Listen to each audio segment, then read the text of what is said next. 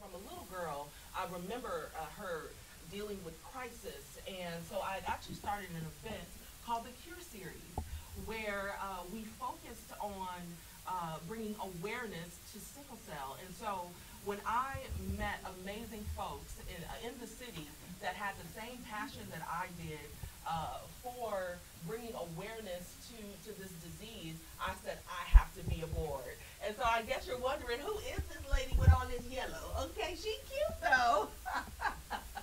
I am Brandy Iberia. I am the founder of the Saved and the City Christian Network, and I am in love with anything that brings light uh, to societal woes, that brings light to dark places.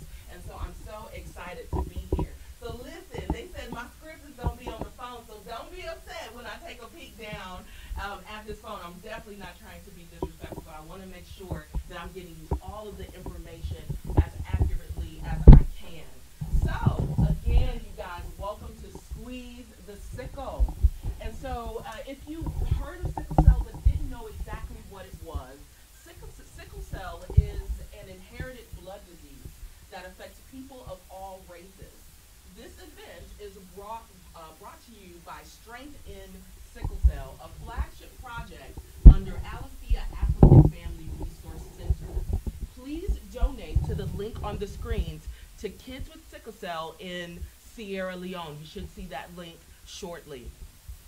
Listen, y'all, we have a packed uh, house, if you will, uh, and I guess that depends on how many people are in your house. okay, uh, but we have an event packed with so many activities for you uh, and so many different things. But can we take a moment before we get into all of the festivities and just have a moment of silence for the fallen warriors?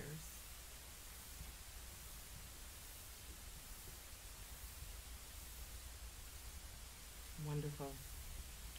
All right, y'all. Well, let's begin the program. Uh, so, the program uh, is going to begin with the background of Alafia African Family Resource Center by the board president, Dr. Pa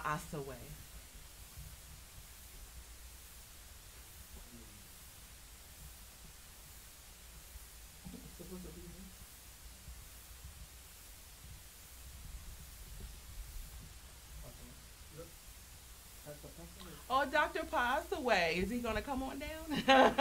I hear him in the back. See, I told y'all we had a packed house. We had a full house and we didn't even know it.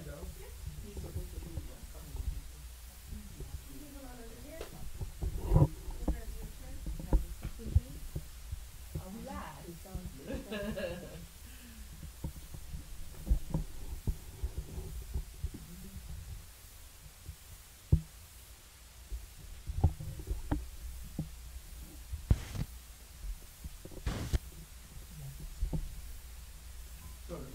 No, you're fine.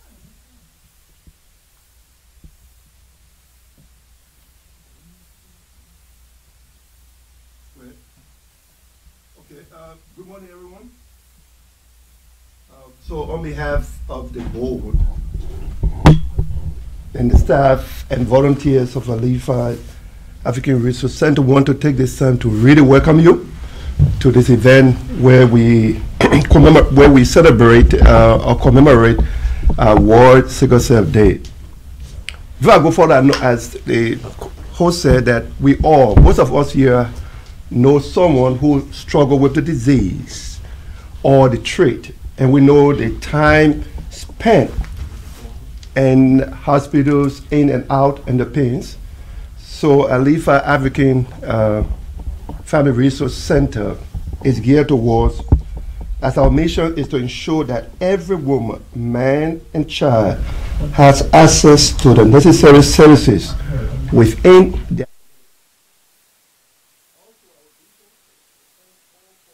abuse and discrimination against family. So on this uh, word, really would love for us to create this awareness. Families uh, and friends that are suffering from sickle cell, and how can we help? So we on, we have our website uh, that we would like to encourage you that if you want to join this effort to support, you can make a donation, you can volunteer your time and services. So I want to say thank you, and uh, please enjoy the occasion.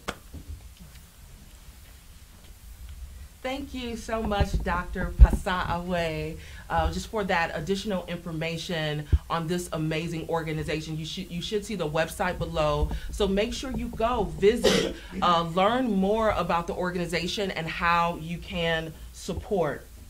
All right, y'all. Can we keep it moving? Is that all right with y'all? Okay, I guess y'all is gonna be my choice of words today because it is coming out strong. Okay, that's for my southern folks. I got I got a feeling we got some Atlanta, some Alabama folks that might be watching on today, either now or later. I have some amazing, beautiful women that are also sitting with me um, on this uh, illustrious panel. That's what it feels like uh, because we real cute. We're real beautiful over here, okay? So I have Miss Dolly and Dora here with me. And uh, Dora, tell us about your experience working with kids living with sickle cell.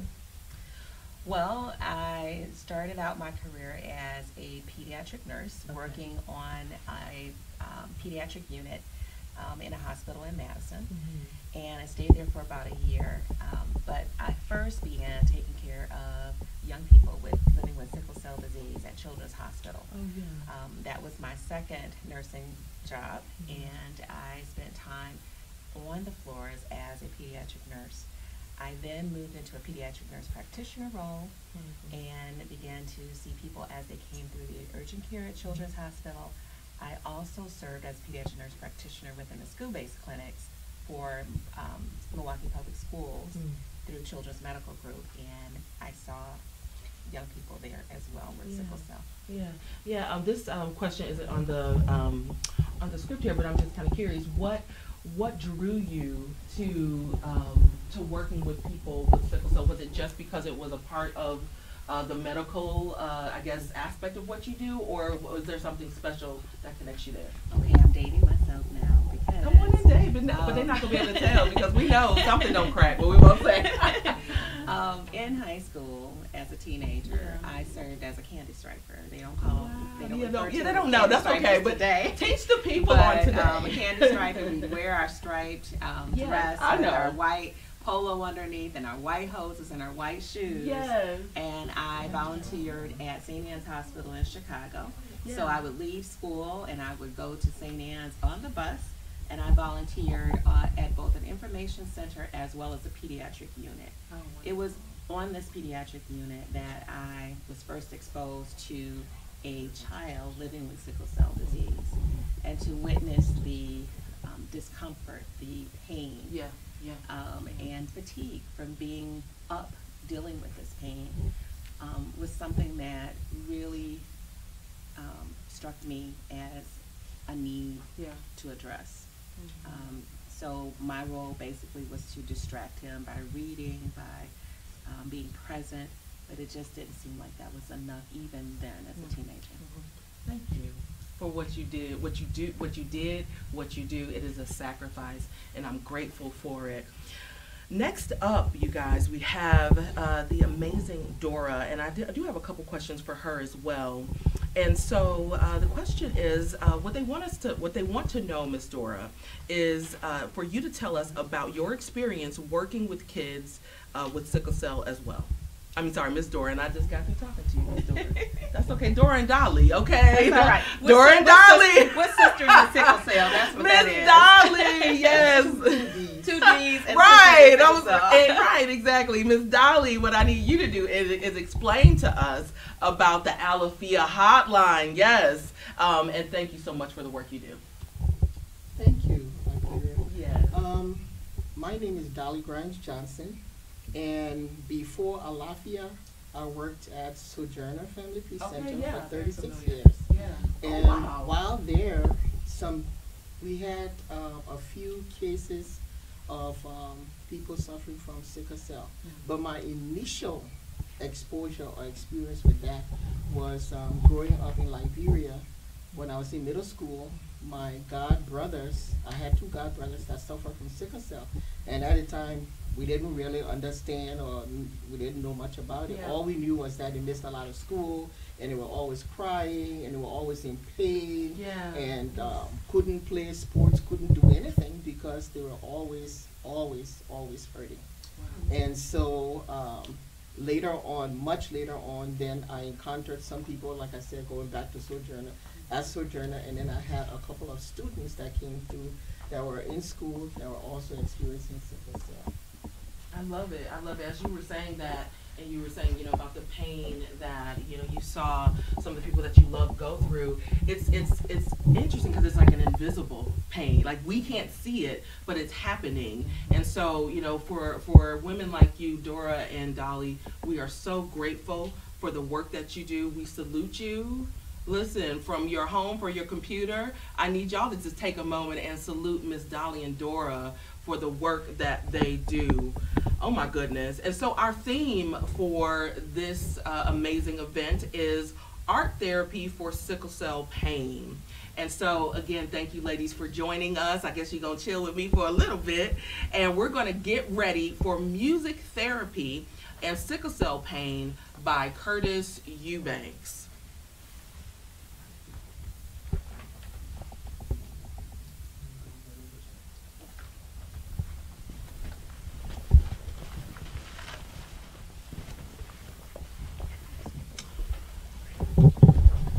Thank you all. Um, so excited to be here. Um, I want to talk a little bit about my music therapy company um, and just what we do, and then how it uh, uh, partners with uh, people that will be suffering and dealing with uh, sickle cell. Um, how we use therapy, uh, the therapy of and in music to address physical, emotional, cognitive, and social needs of a group or individual. We employ a variety of activities such as listening to melodies uh, playing an instrument, drumming, writing songs, and even guided imagery. Uh, the therapy uh, that is in music is appropriate for people of all ages, whether they sing like an angel, or are tone deaf, or struggling with illness, or totally healthy. You know, the therapy uh, in music touches all aspects of the mind, the body, the brain, and uh, behavior. Music can provide a distraction for the mind. It can slow the rhythms of the body, and it can alter our mood, which is which can influence behavior which is very uh, good for people that are going through all type of pains and illnesses. Our company works with people suffering from sickle cell, emotional health issues such as uh, grief, anxiety, depression. We partner with and serve group homes, clients, and residents of all ages in home, hospital, and prisons, concerts, and performances. Our sessions are designed with a number of factors in mind: physical health, communication abilities, uh, cognitive skills, emotional well-being, and uh, even just interest. Uh, note that anybody um, doesn't have to have musical ability to be able to benefit from the therapy that is in music. So, in some areas, we create and reproduce music, uh, composing songs, engaging in music, uh, improv, drumming, sometimes even just listening to music, such as uh, using music to facilitate an individual or a group uh, through re- relaxation, and then discussing the thoughts and the feelings that come from surrounding that music. The therapy from music alone is clinically and evidence based. The body of, of research still is quite extensive and very strong. And so we have different elements, even in my company, where we bring people in and we, we deal with comfort. The CEMT, the company, um, the acronym can be um, interchanged with comfort embracing mood and transform uh, cultivate encourage mentor and train. And then we in turn after people come in and receive the comfort um, uh, from their pain through music therapy they actually we want to employ them to go out and be a music therapist if you will to create entertain minister and travel. So um, we're here to serve and we're glad to be here for this great event. Thank you Wonderful. Curtis Eubanks, everyone. And listen, like he's talking about his music therapy company, and if I'm not mistaken, he's going to be coming back on later to sing. I'm not sure. But if, if, if he does or if he doesn't, you all need to follow him because When I tell you your life will be changed just by hearing the music ministry of his voice, of his keyboard playing, and so much more. And so next, you guys, we have movie writing and reading, a movie writing and reading um, uh, in regards to sickle cell pain by Cosmo Lanier and No.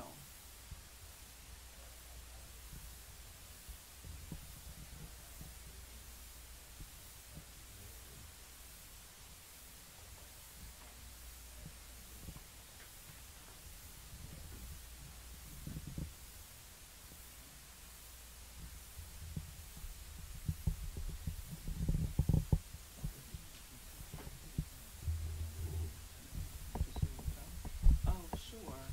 So I don't want to go off script, so you all let us know if we want us to, to chat a little bit more, because I got some. They're not here right now. Okay, should, should we continue forward? All right, I'm not sure if we live or not, but if we live, y'all just come on in, okay? You come on in, it's all for a good cause, and, but this is real life. This is absolutely real life. It's not always perfect, but the intention, the heart, and, um, uh, the love, I feel that, woo, the love behind it should be ringing through. And so let's just keep on moving. Let's move to some sickle cell advocacy with Dr. Simone Iwan. Now, y'all let me know I'm not gonna call every name on the list. Okay, no, Dr. Simone. Okay, you know we do y'all know we still got Dora and Dolly here? Like we can have a whole we can have yes, we can talk to Miss Dora and Dolly. Okay, and so you were saying you want to talk a little bit more, Miss Dolly, about um uh about Alafia. Yes, come on. So, um, in case people are wondering, what is the word, um, what does it mean? Yes, When you hear yes. Alafia? Yes. And Alafia comes from, um, a Yoruba tribe in Nigeria. But that word is not only unique to the Yoruba tribe or to the Nigerians, because you will find that word across the board in West Africa and in other African countries as well. And what Alafia means is peace has come.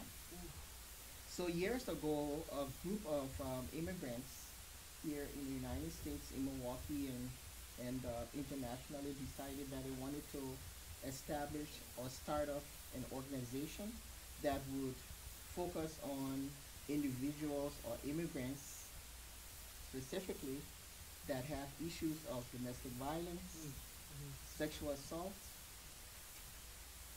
human trafficking, and sickle cell. You And can still keep doing this. and so, and so in talking, talking among themselves and trying to get it started, this was back in, I believe, twenty fifteen. And so many discussions were held and so forth, back and forth, back and forth. Um, there's member in, um, Australia, member in, um, the UK, um, and then members here in Milwaukee, of course. I was drawn into it after I left Sojourner in 2019, and I believe it was like last year that uh, I was kind of pulled into helping to bring this together. And so it's a new organization, and we are still working on starting starting it up. So it's new, and certainly we can use all the support that we can get. Yeah. So as you tell people out there that are listening and um, tuning in and so forth, um, the organization does need help, just as sickle cell does. Sickle cell needs a lot of help Yeah. because there are immigrants that are here, so-called underserved population that um, are suffering from sickle cell and trying to navigate the health system. And so if they are connected with Alafia, Alafia can also partner with other organizations as well as try to help them. So Alafia is all about not only helping face to face, but also helping on the twenty-four hour domestic vi- uh, twenty-four hour hotline. Yeah. I was gonna say domestic violence hotline. Oh yeah, yeah. That's separate. fine. Yeah, that's where Cat. you're. That's where you're. Yeah, that's where you came. Yeah, you Yes. started. No, that's that's so amazing. Thank you for sharing that because actually it, it takes me back maybe gosh, I don't want to date myself now. Dora. Uh, um, probably seven, about seven years ago, when I, I was, I talked about this earlier. I did something called the Cure Series, and what I would do is every year I would shine light on a different organization, whether it was cancer, that was the one year, and then the next year I think it was like Heart, uh, the Heart Association, and then the, I think the last year that I did it, it was for sickle cell, and I could not find an organization to partner with. Mm-hmm. There was no, I wish I would know about, I don't even know if Al- Alafia was around at that time when I was doing it, but there was nothing to connect to. Mm-hmm. And I, and, but, but people were still suffering. Mm-hmm. People still needed connection. And so to hear that now there are not just one resource, but there's multiple resources and growing, someplace that you can tap into is absolutely amazing. So thank you both, just again, for the work that you continue to do.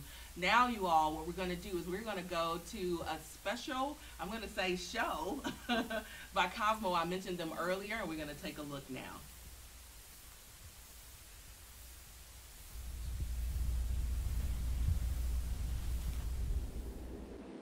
Hi, my name is Cosmo Lanier Eno. I am 35 years old. Um, I'm a fall baby, October baby. Um, technically, Mischief Night was born on October 30th. Um, and I have sickle cell anemia. Um, obviously, we all know I lived my whole life with, with sickle cell. And, but just because you have sickle cell or any other disease or ailment, um, that doesn't mean that it can stop you or, or hold you down. Um, I have a 17 year old daughter and I'm married.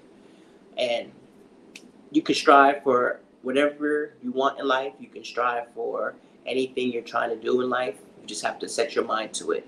And sometimes that might sound funny and sound weird um, or impossible when you're in the middle of a pain crisis or you're, you know, just going through the mud of just living life and dealing with certain things. But I assure you that take it from somebody like me, you can strive, you can do what you want to do. I'm a two-time published author. I wrote my first book about my life dealing with sickle cell. It's called Cosmo and the Monster Within. And I wrote a second book, um, completely different from the first. I wrote a second book about um, it's a space adventure book. I wrote it with my daughter at the time. She was, I think, nine. Yeah, nine or twelve. Like she was pretty young. Um, I think yeah, nine or either nine or twelve. I know. I think twelve is when the book was actually out and done. But we started the process when she was like nine. But anywho, we wrote a, sp- a space adventure book called The Flying Boy of Zinni Boo. Um, both books you can find on Amazon.com, BarnesandNoble.com, and Xlibris, X L I B R I S dot com. They are they come in um, paperback and electronic ebook. And with all my books, whether the topic I write all genres, you can always have that underlying tone of they might have something wrong with them or they might have something that people might think is wrong with them. But the, all my books, in some way or some form, I will put in it that or show that whatever adversity you're going through, you can always uh, overcome it. And sometimes you can use those adversities as something positive, something to help others or help yourself. So always remember that because in my second book I did with my daughter, The Flying Boy Zinni Boo Boo, short synopsis, the, the kid has, he's obviously on another planet, he's dealing with all these issues and everybody's pretty much the same and he has something that drastically changes him and you know everybody looks at him as a pariah and he's stressed out but then he uses these things that are different to actually help other people.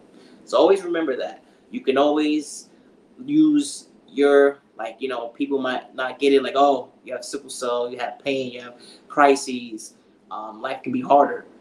But because life is harder i might appreciate other things that somebody might not appreciate. I might could push through to get things accomplished because hey i can push through having pain.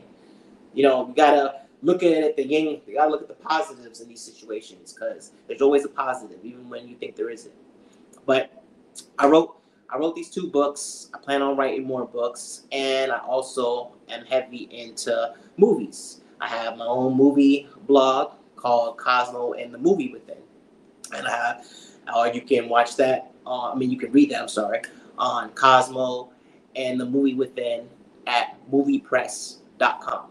And I have a YouTube channel, Cosmo and the Movie Within. Um, I think at youtube.com. But if you just type in Cosmo Lanier or Cosmo and the Movie Within, um, all those should pop up. Um, but I say all that because you should have a hobby. You should have a hobby or something passionate um, that you care about, and it helps you with the low times. Um, for me personally, I get blood exchanges every four weeks, which it seems extreme. Um, the body takes about 12, 12 bags, 12 pints of blood. I get about between eight and 10 bags. So I'm getting almost 80% of my or more of my blood supply sucked out with new blood sucked in every single every four weeks every month so that's ext- uh, extreme and extenuate and ex- I can't even say the word um, extensive but it helps me stay on this planet longer and you know the overall the small inconvenience you know that might be inconvenience but the overall brings my life you know joy and overall lets me experience life and overall lets me do things um, so I, for once, I would recommend getting blood exchanges. Those are very positive and something that changed my life. But you have a lot of downtime, and I still have crises and have to deal with that. But because of these blood exchanges, I haven't had a hospital stay in at least over four years. Knock on wood. I have I've been in the hospital maybe once or twice also in the last three years. So I don't get hospitalized much I don't have long hospital stays much anymore. But before these blood exchanges, I was in the hospital all the time. You name it, every week, every month. It was just, you know, the cycle, the constant struggle. You know how we uh, go through what we deal with. Um, dealing with doctors who some care, some don't. Some don't know what they're talking about. Some do.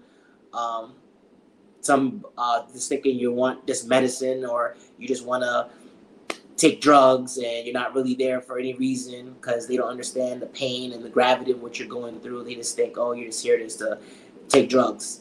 Um, we have a lot of stigmas with sickle cell, so you have to combat that. And some of the things that I try to combat that with is is doing things that I enjoy. I enjoy writing.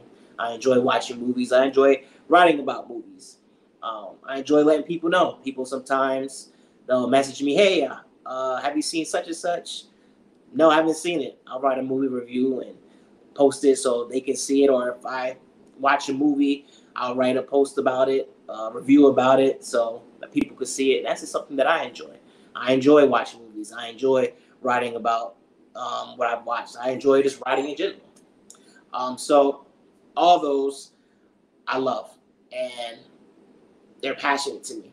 So, and because of that, in downtimes, you know, you might be in the hospital or you might be in pain. Uh, for me personally, I pray. I have crystals that I hold. I try to meditate. Anything to pretty much ease my brain. Anything to pretty much, you know, um, calm me down to try to help the medicine to work.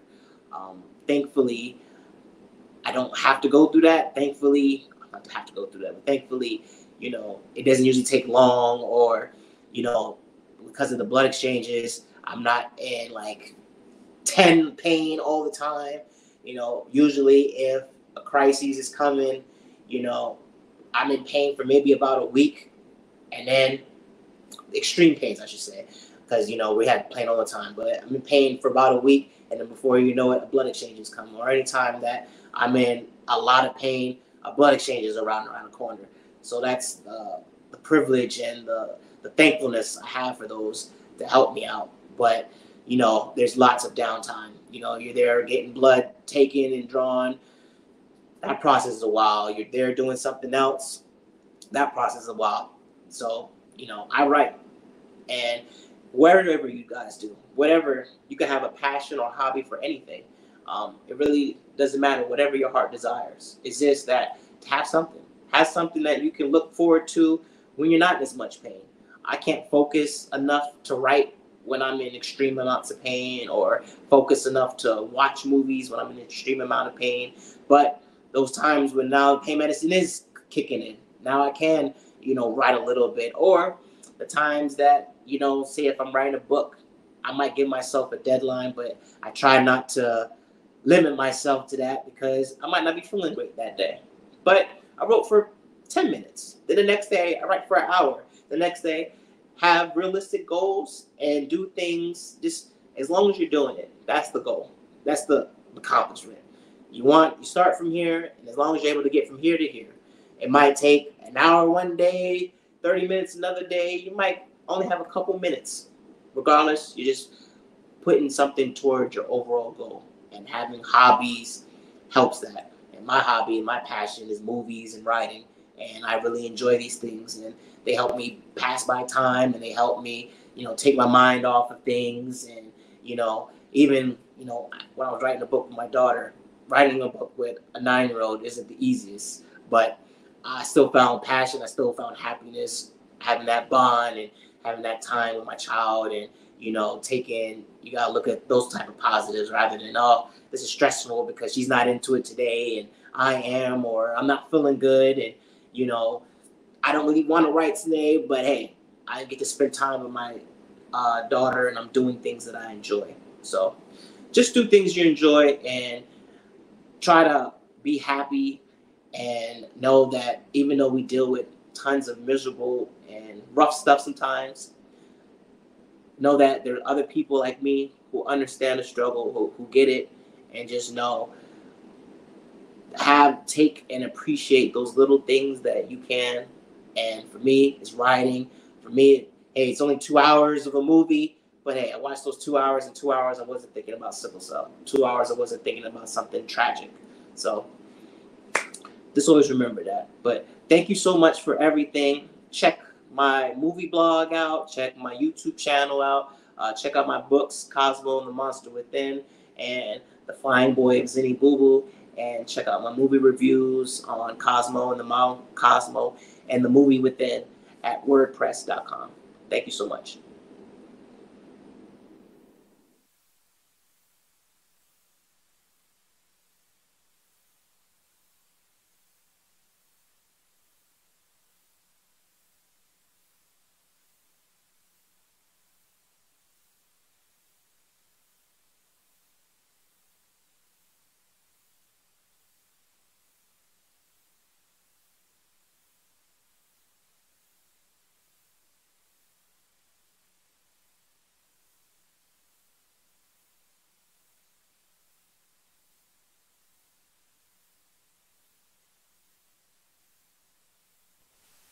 Join Explore.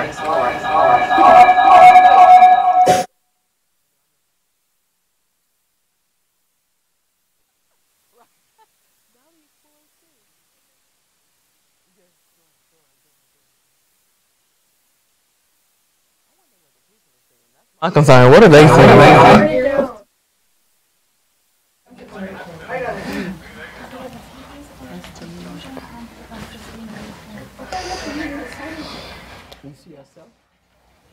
The screen? Yeah, but if I do that, then I'll. You see how it looks up, so you always have to be looking forward. But it doesn't mean that that's what they're seeing yet. Okay. And we are back. Thank you so much, Cosmo, uh, just for the amazing information on the movie and so much more. Um, and so I'm sitting here still with Miss Dolly and Dora. Dora the Explorer. It's gonna stick with my head. I'm telling. and so, Dora, I think I've asked you this question a few times already, but I want the people to get the answer. Um, so, you have focused on sickle cell teenagers transitioning to adulthood. What I want you to do is explain a bit about your research. Sure. So, um, obviously, like, you know, we talked about it before, I'm a pediatric nurse practitioner by profession, and I've always been passionate about supporting young people. And so, in the sickle cell community, we have our teenagers and we have our young adults. And when our teenagers move over to a, from pediatric care to adult care, we call that healthcare transition. And if you think about someone who does not live with sickle cell disease, the events that happen in a teenager's life are, are endless, right?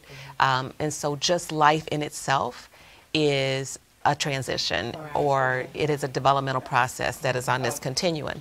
And so for those teens who are living with sickle cell disease, not only are they moving from pediatric to adult care, they're also moving from pediatric to adult life.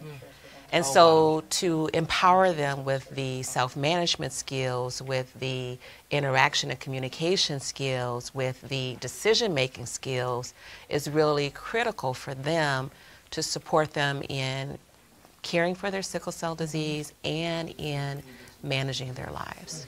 Thank you so much for that information. Are y'all learning today? You should be. If not, take notes uh, because this is this is good information to know. And if nothing else, um, you might know someone who is battling or dealing with sickle cell, and and they don't know where they can connect to for community. Again, Alafia, I need you all to get connected. I'm sure you're going to see the website throughout. Um, and again, thank you, ladies, for for hanging out with me on this amazing uh, day. So let's move, and I'm hoping that Dr. Simone is here. Let's move to some sickle cell advocacy with Dr. Simone Uwan and sickle cell science with Dr. Kanter.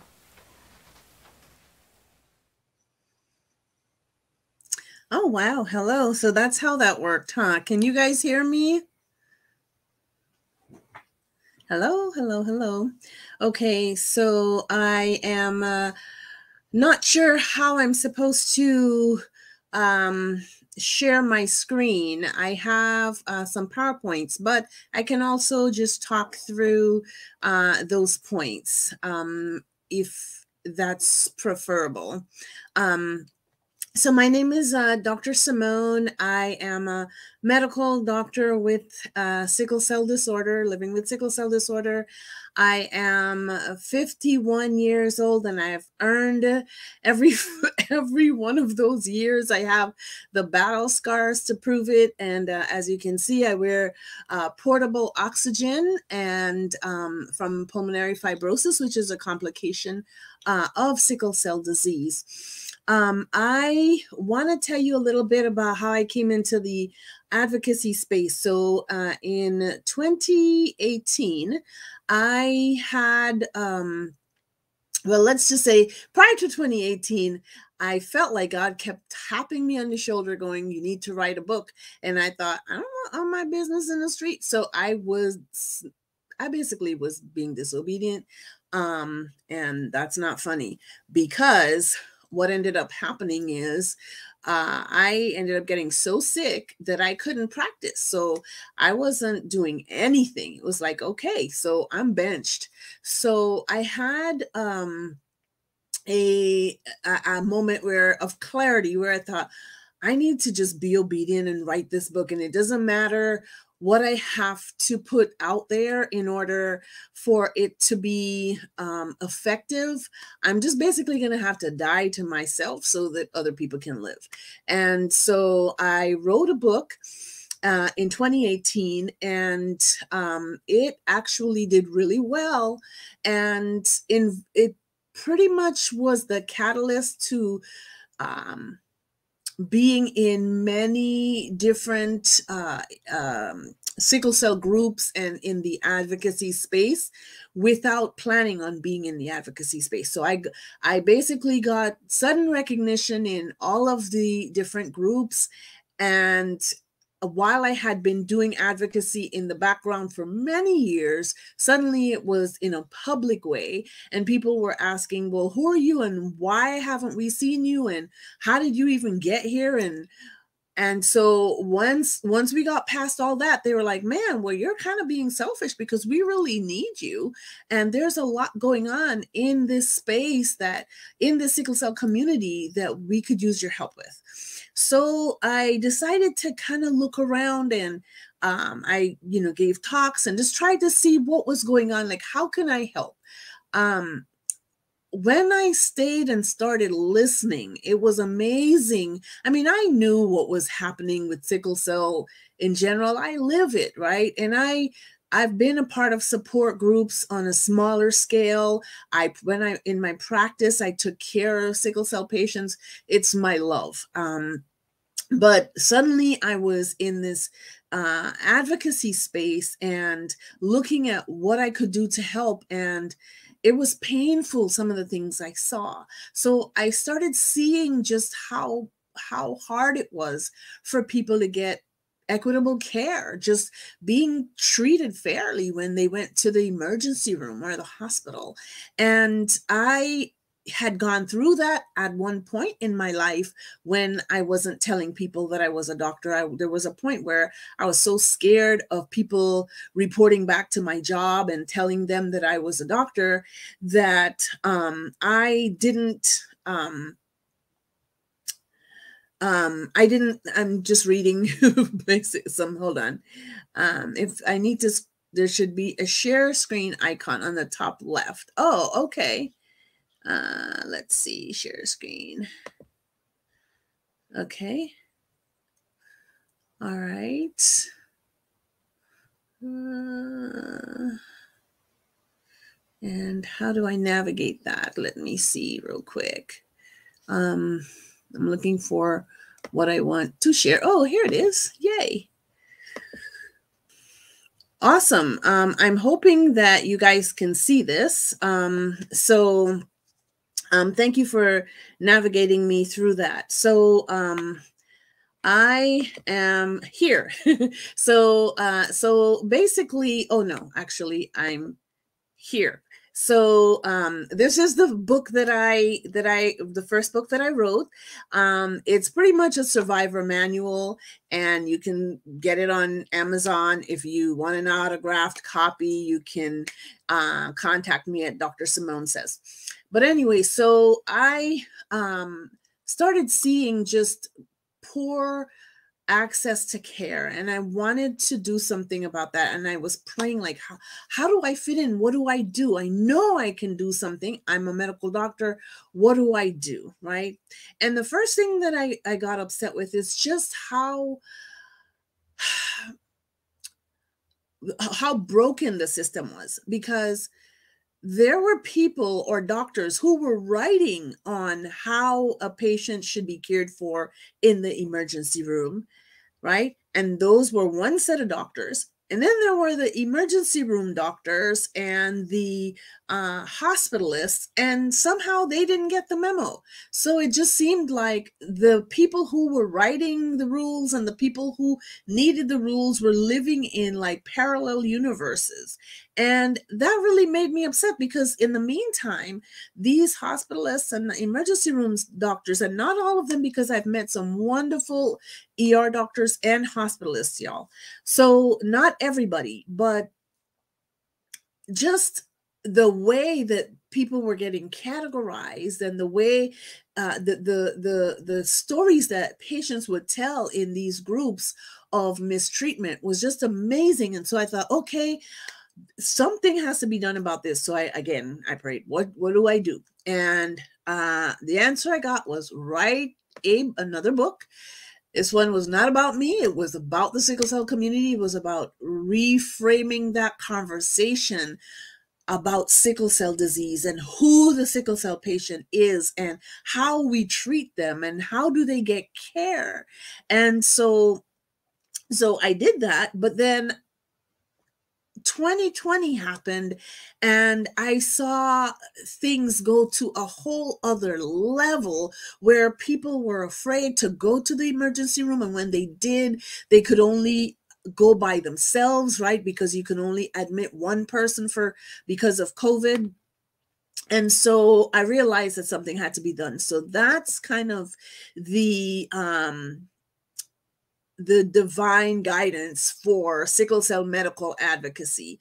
So, sickle cell medical advocacy is a nonprofit organization that I started in in uh, well, I wrote a program to teach people in the community how to advocate virtually for patients with sickle cell disease, and I did that towards the end of 2020.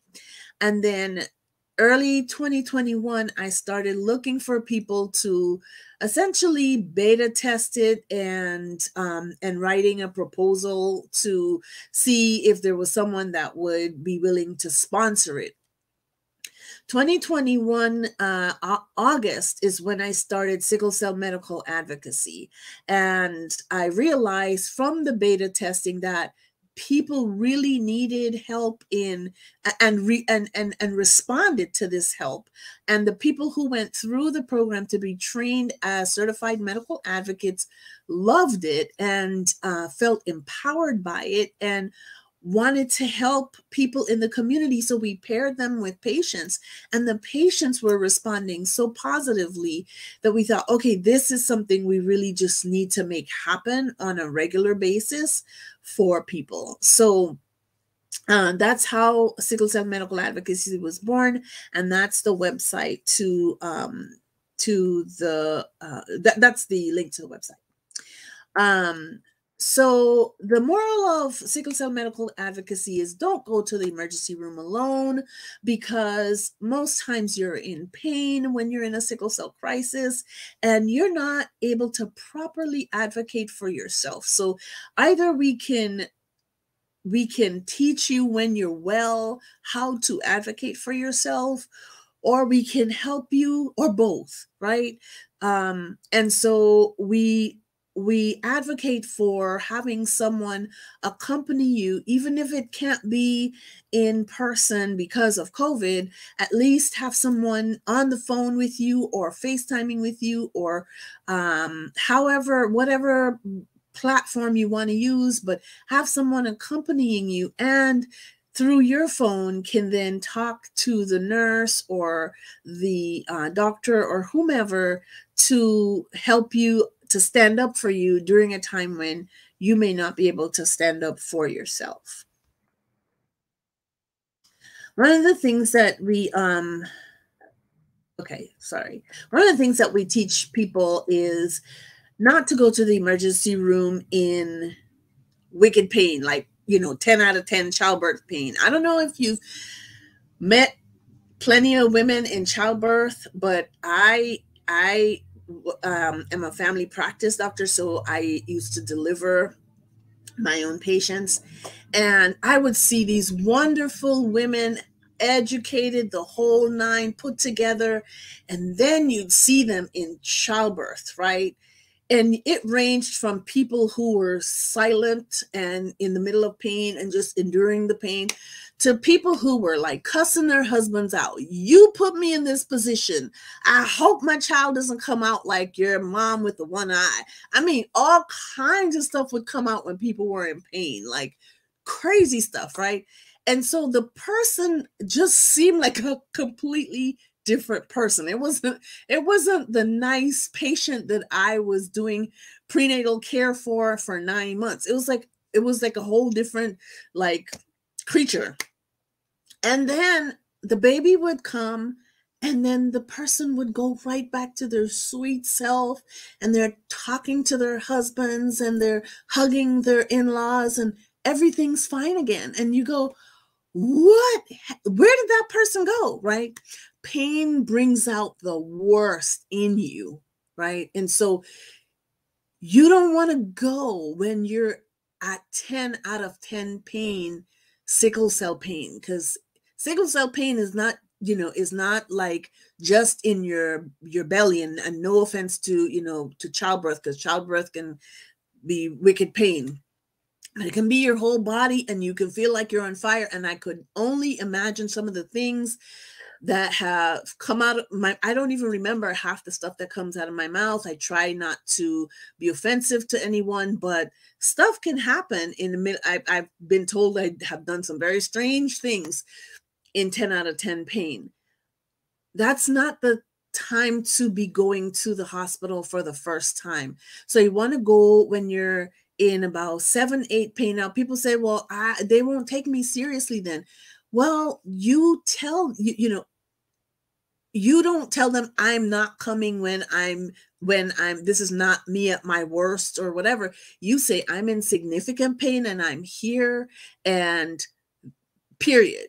But I'm telling you that you make a decision not to go in 10 out of 10 pain because it doesn't give the nurses or the doctors any window to breathe, not even to be able to hook you up to the IV or get your, you know, get your meds or anything. It's like you're screaming for them to hurry and bring it yesterday.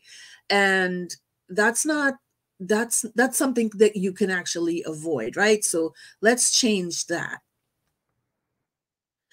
Um, these seem like simple things, but bringing a blanket and a heating pad or vest can be very helpful.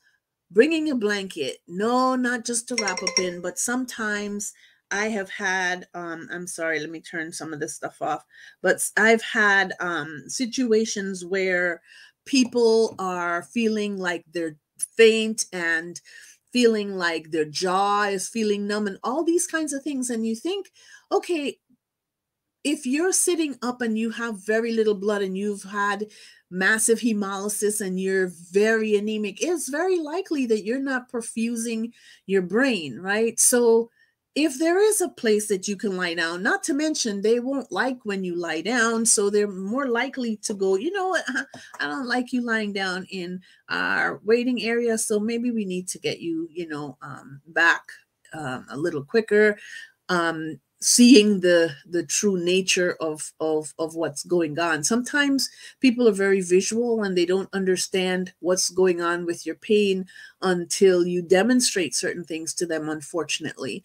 Um, but i'm saying blanket because it allows for you to then lay horizontal and perfuse your brain so that you're not so that you're able to um, protect your brain cells right? And then a heating pad. The emergency room can be cold. I know you're accustomed to a heating pad to put on the area that's aching, but I'm saying even if you had a vest, like I, I actually put a, um, this is my vest, and I don't know if you can see it. So it has a little button right here, and it's an electric um, it has a battery it's battery operated and i press on this and it will it will you know have different levels of heating up. And basically it keeps my body warm and it that causes dilation of my blood vessels. So that allows for your blood to perfuse a lot easier throughout your body. It's not just that area that's hurting because even even when you are applying pressure or, or, or heat to that area that's hurting, you don't know where else could be compromised. Sometimes you might be feeling referred pain. Sometimes there are other things happening in other parts of your body that you're not aware of. And you certainly want to be preventive too. So, as much as you can warm up your entire body and have uh, better circulation, that's a plus. So, I encourage um, I encourage that as well. And then IV fluids. So one strategy that I like to tell people is, you know, when you go in, don't always harp on meds, meds, meds. Yes, you can. They should know the protocol, but they don't always. So you can say, yes, in order to manage my pain, I need, you know, IV fluids and I need pain medication. But if you harp more on the the pain medication, they're they're going to start thinking that you're drug seeking and all the things that they think, right? So, one way to handle that is to say, I really need to get hydrated. I need IV fluids. I need you to start IV fluids on me as soon as possible.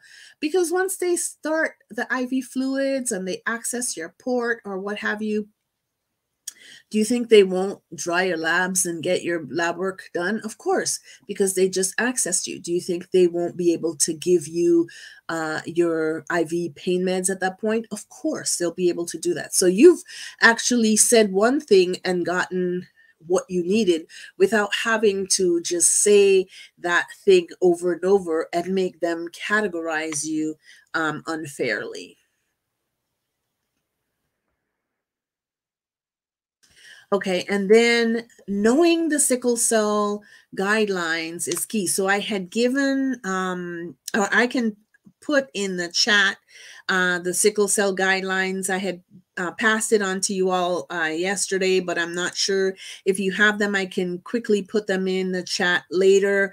But uh, there are national guidelines from the National Institutes of Health and the American Society of Hematology that go through all sorts of things that should be done for someone in acute for acute management of sickle cell disease. So, you know, right when you're in a lot of pain for an acute crisis, not for your ongoing pain crisis, but when the one that ends up taking you to the ER, there's a whole um, there are guidelines for how to manage that. And like I said, oftentimes the people that make that and the people that use it are in parallel universes. So it then becomes important for you to know what those guidelines say because maybe you can help towards your you know towards getting yourself those um, guidelines and getting them implemented. Knowing them ahead of time is great because then you can talk with your uh, hematologist even before you have to go to the emergency room and you can get the hematologist on board to make a plan for how you can be managed in the emergency room even if your hematologist isn't aware of these guidelines. And yes, I can tell you that there are hematologists that are not aware of the guidelines because they are concentrated more on oncology. They're hematology oncology, but they're concentrated more on oncology. And so they pretty much will and something like sickle cell disease where they may not see see it every day uh, forget it. You will likely have to introduce a lot of this uh, to them. So having those links being able to print out you know the pages that are associated with the guidelines for acute management of sickle cell disease and being able to take it to them uh, and allow them to craft a, a treatment plan is is is liquid gold so um so so there's that and but what i usually say is let a professional stand up for adherence to those guidelines. So yes you can use um, your hematologist but coming full circle um, we are also here to help. Sickle cell medical advocacy is also here to help. So if you need for someone to virtually accompany you, someone who already has been taught the guidelines and how to stick up for you using those guidelines in a respectful way, um, talking to the nurse or the um, medical doctor. Right now, we have three medical doctors and um, one nurse. I'm sorry, we have four medical doctors and one nurse, sorry, um, that uh, can speak with uh, the doctors and um, and and and basically be a resource, not necessarily teaching them, but be a resource for them uh, with respect to the guidelines. And I think that comes over better than you in pain trying to advocate for yourself with those guidelines. So hopefully that all makes sense. I know I went through things very fast. A lot of these things, um, even you know, like IV fluids and things like that. I have a class that's like an hour and a half on just IV fluids and what to select when. So I know that I ran through this um, very quickly but please feel free to check us out and check uh, check out the website for more information, um, whether it's on the class, on, on how to become an advocate for someone, or how to get an advocate that can help you as you access care in the emergency room or in the hospital. I hope uh, that this has been helpful and I hope that you have learned something. And thank you so, so much for listening please let me know if you have any questions. So I'm going to stop sharing and see if I can make it back to you all. Um, and here I am. All right. Um, okay.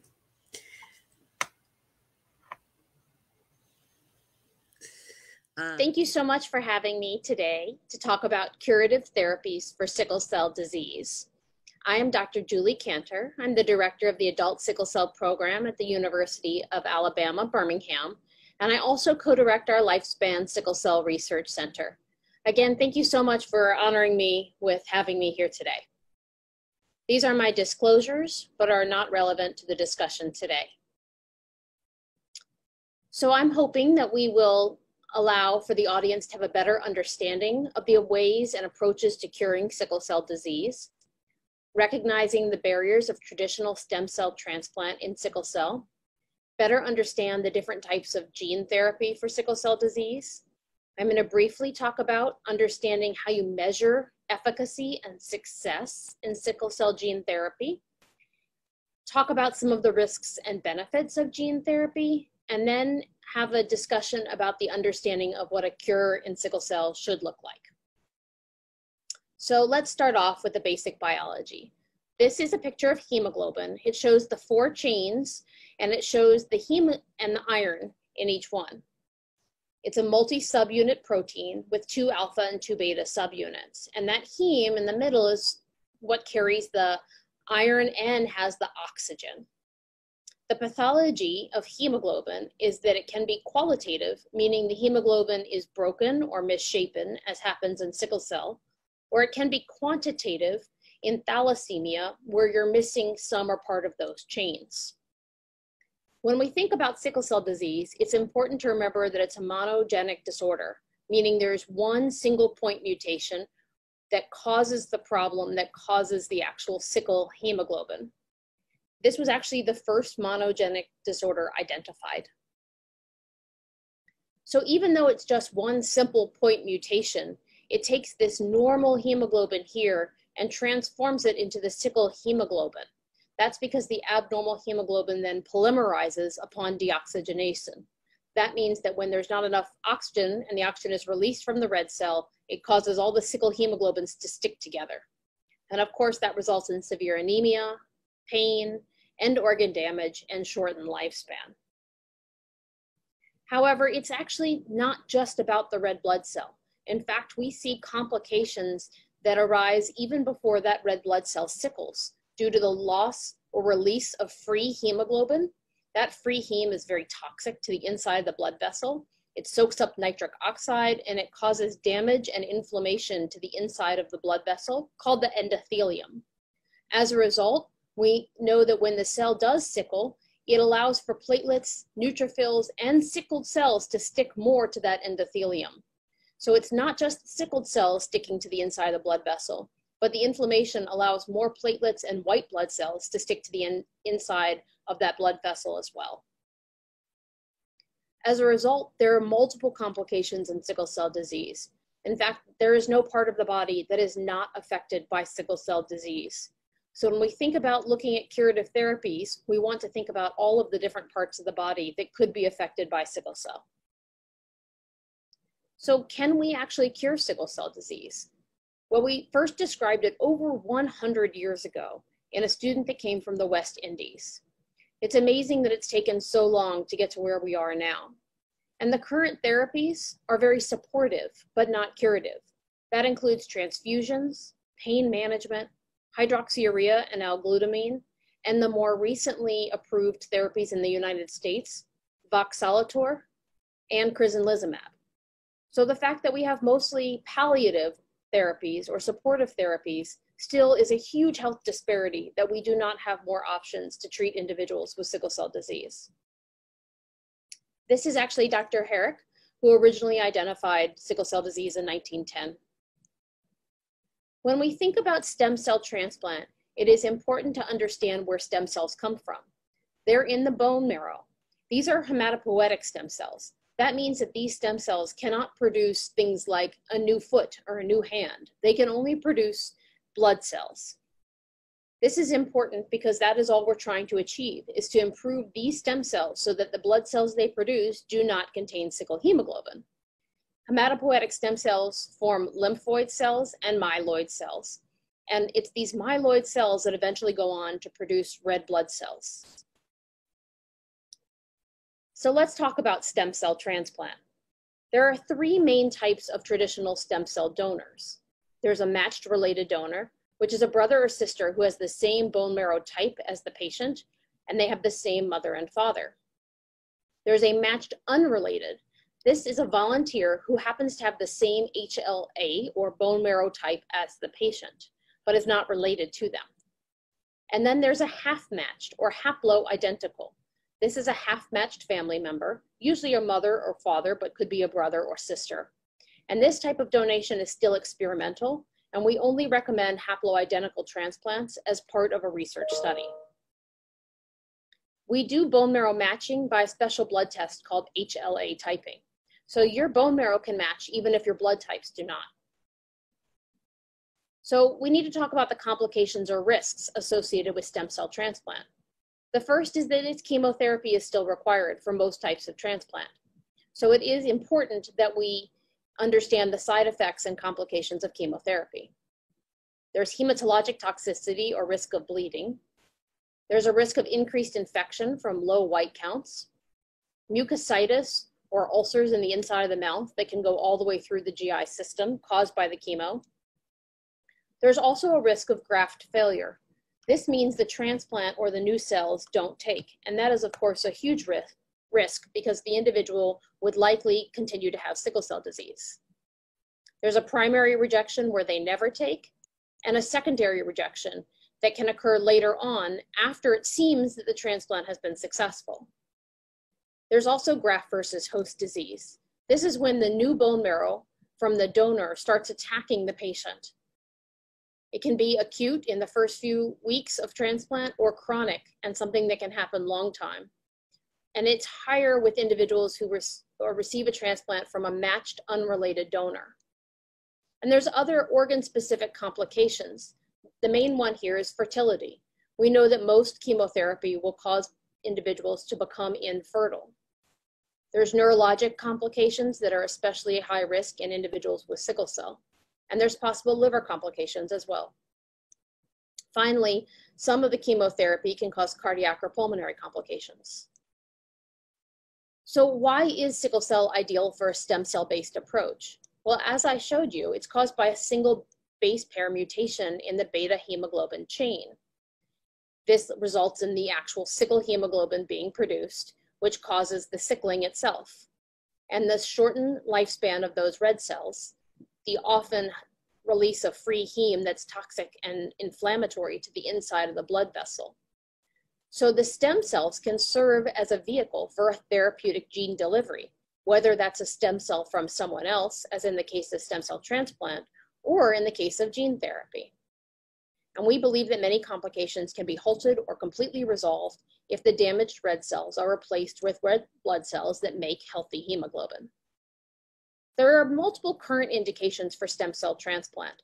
Right now, it is usually reserved for individuals who've had severe complications of their sickle cell disease. For children here on the left of the slide, that's often children who've had a stroke or an abnormal transcranial Doppler that tells us that there is a high risk of stroke. There's also individuals who've had recurrent pain crises or acute chest syndrome.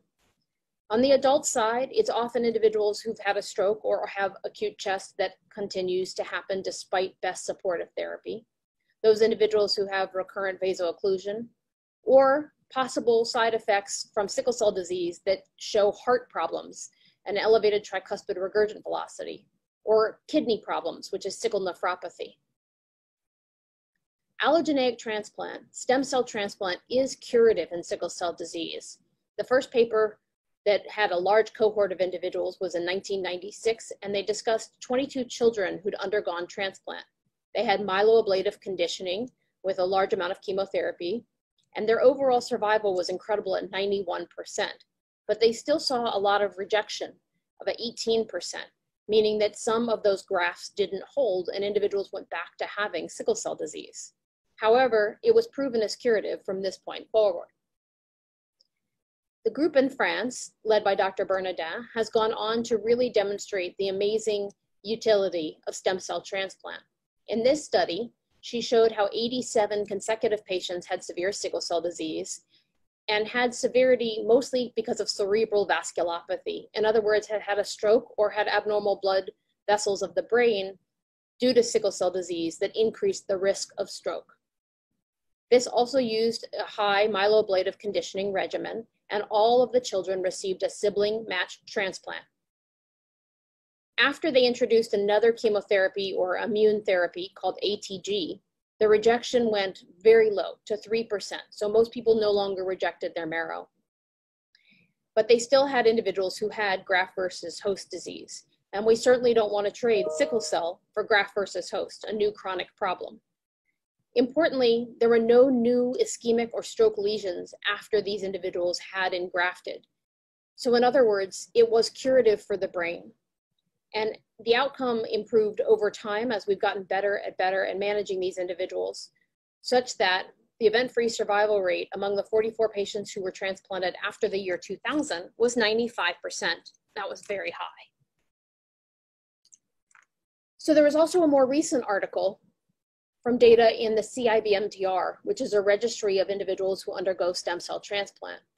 Here they looked at 1,000 patients who'd undergone a matched related transplant between 1986 and 2013 and saw a five-year overall survival of 92.9% and an event-free survival of 91.4%. It is important to note that these numbers were even better if children were transplanted before 16 years of age. They did still see a lot of graft versus host disease, however, with about 14% acute and 14% chronic. So we started to ask questions about, do you still need full-blown chemotherapy or high-dose chemotherapy called myeloablation? And what they noted in this study here by Walters et al. was that in individuals who are cured of their sickle cell disease, it was okay if some of their own bone marrow came back. We call that mixed chimerism. That's when some patients have part of the new bone marrow and part of the old bone marrow. And that in fact, they didn't need to be 100% donor to still be cured of their sickle cell disease.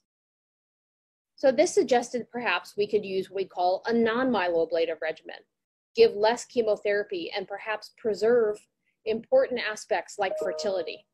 This was one such regimen where we used an immune modulator called alemtuzumab that affects the immune system but doesn't affect the whole body as chemotherapy does. These individuals do get radiation, which still does cause a risk of, of having fertility problems. And then they get a newer drug called sirolimus to help prevent graft rejection and graft versus host disease. This transplant regimen was used in adults because remember I told you most of the original transplants were performed in children.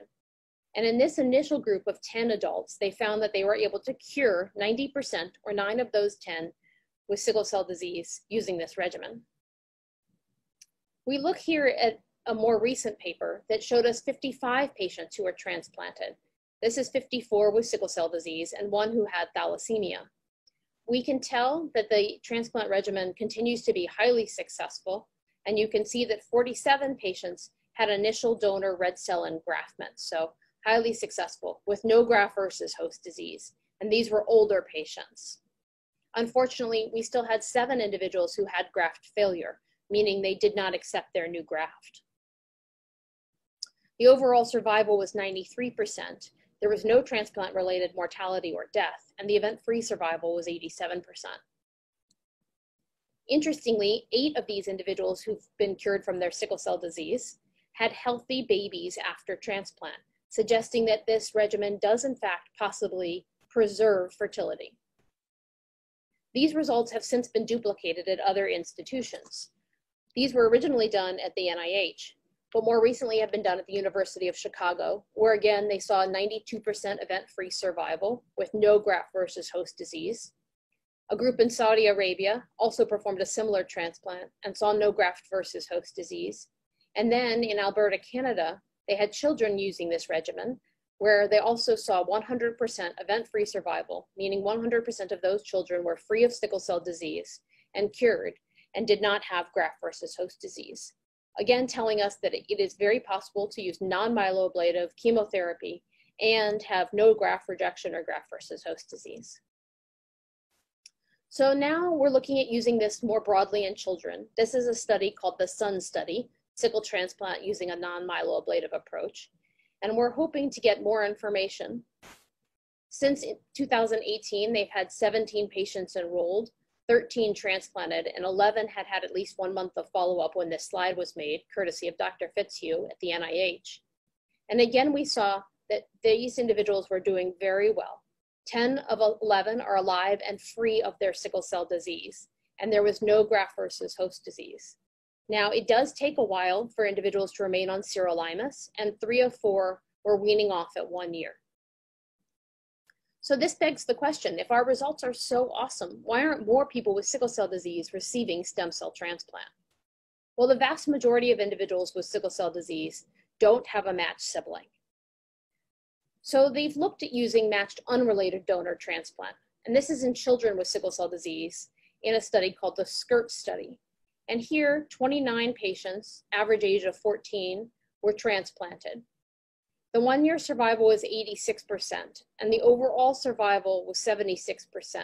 That tells us that six children died from graft versus host disease. This is much higher than the studies I showed you previously, showing us that perhaps matched unrelated donor transplant is not as acceptable. When we looked at adults with matched unrelated donor transplant in a study called the STRIDE study that enrolled 22 patients, we see that five of these patients, so five of the 22, were matched unrelated donors. The others were matched related donors. In this group of five patients, only three were cured of sickle cell disease, although one was later transplanted again and was cured. One patient, however, had severe grade three acute graft versus host disease, and one had chronic graft versus host disease. So again, while these results are encouraging, we're seeing that matched unrelated donor transplants aren't doing as well as we would like. So of course, the other problem is many individuals don't have access to a transplant center. And many adults don't even have access to a hematologist to get advice on optimal therapies. It's important to note that a recent analysis from Florida on almost 1,200 adults found that only 30% had a primary care doctor, only 18% had an adult hematologist. That meant that only 27% had a primary care doctor and a hematologist, and almost 25% had no doctor, a primary care or a hematologist. And of course, as you might imagine, individuals who had both the primary care doctor and the sickle cell hematologist had less hospitalizations and better outcomes. If we can't get individuals with sickle cell to a hematologist, it will be very hard to get them to a transplant. Finally, we looked at haploidentical transplant. These are half-matched transplants, and this was a group out of Hopkins that did a lot of this initial work. These are very accessible donors. It's usually a mother or father. We can get larger cell doses, and you can get repeat cell collections when needed. In this case, they added in a chemotherapy called cyclophosphamide to help decrease graft rejection and reduce graft versus host disease given to the patient after they received the transplant. So we have shown now that stable mixed chimerism is sufficient. We've come up with a regimen that we can use for half-matched transplants.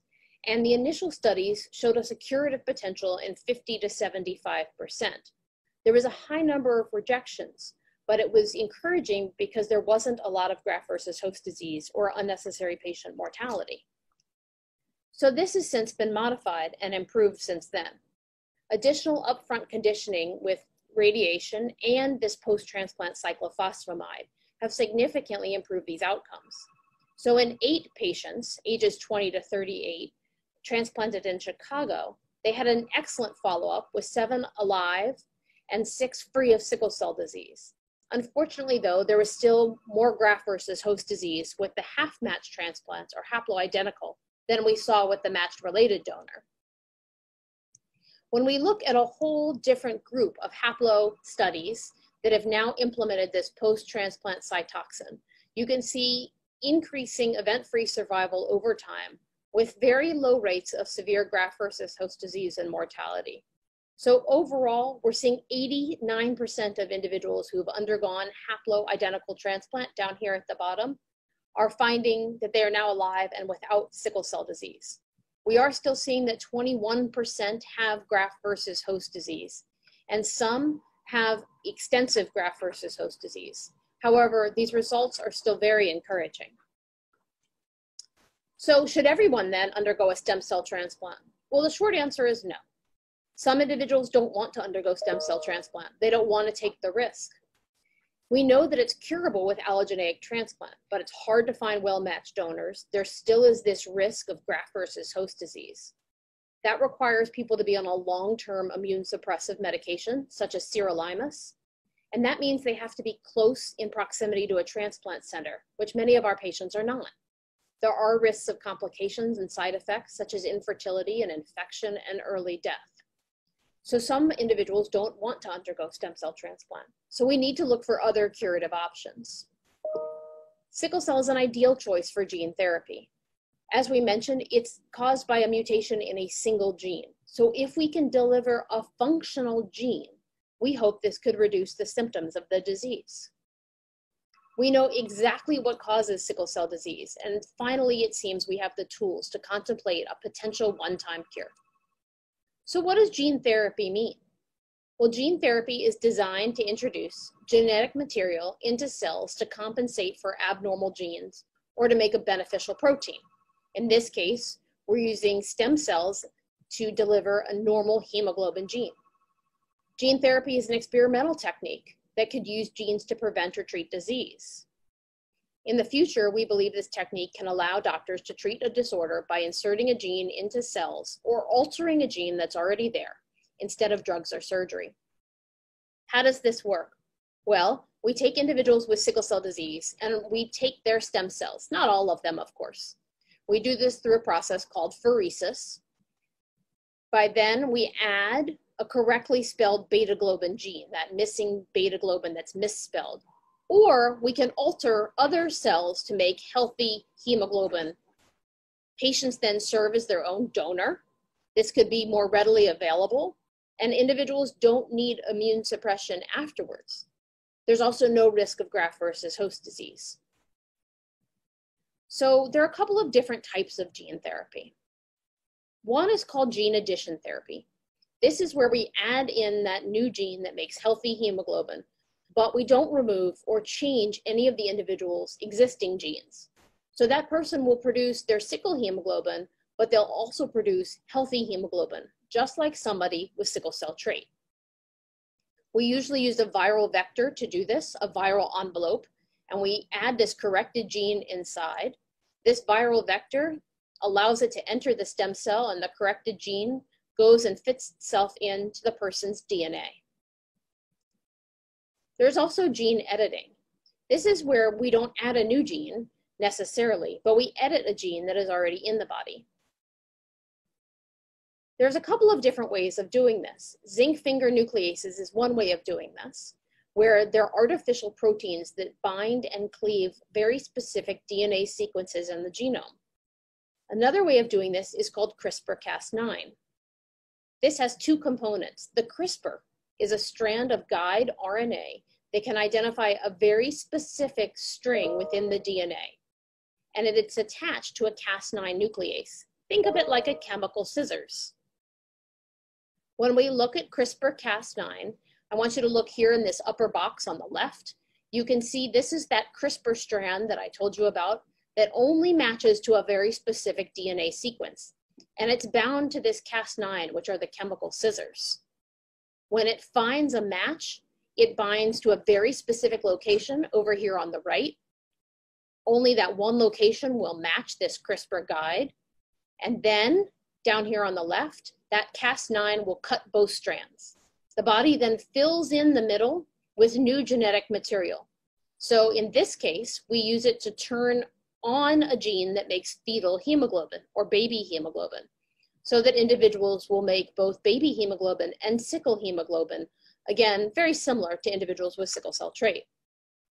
However, there's another way of doing this too, where we not only cut the DNA, but actually add in a new piece of DNA at the same time. This is called HDR or homologous directed repair. Very similar to what we just talked about, we use that CRISPR-Cas9 up here, as we mentioned in that box A, to bind to a very specific site and create that double-stranded break. But then on the right, when they deliver that CRISPR-Cas9, they also deliver this green SNP that is a perfectly suited piece of DNA to fill in that hole that they've made. This would allow us to directly cut out that sickle mutation and put in a DNA code that codes for healthy beta hemoglobin. There's also newer genome editing approaches that use part of this CRISPR mechanism, but they do direct point mutations. So instead of making that full double-stranded break, these base editors have a catalytically disabled nuclease fused. So in other words, they have a different type of enzyme that only cuts one specific base pair. And that can allow us to convert one base pair to another, as you can see here. This is called base pair editing.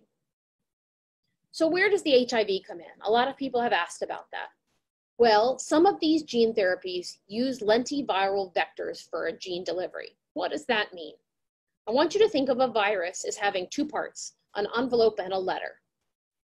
And what we've been able to do in the laboratory is remove the letter that codes for HIV. You take it out. From there, you're left with an empty envelope that you can put the hemoglobin gene in.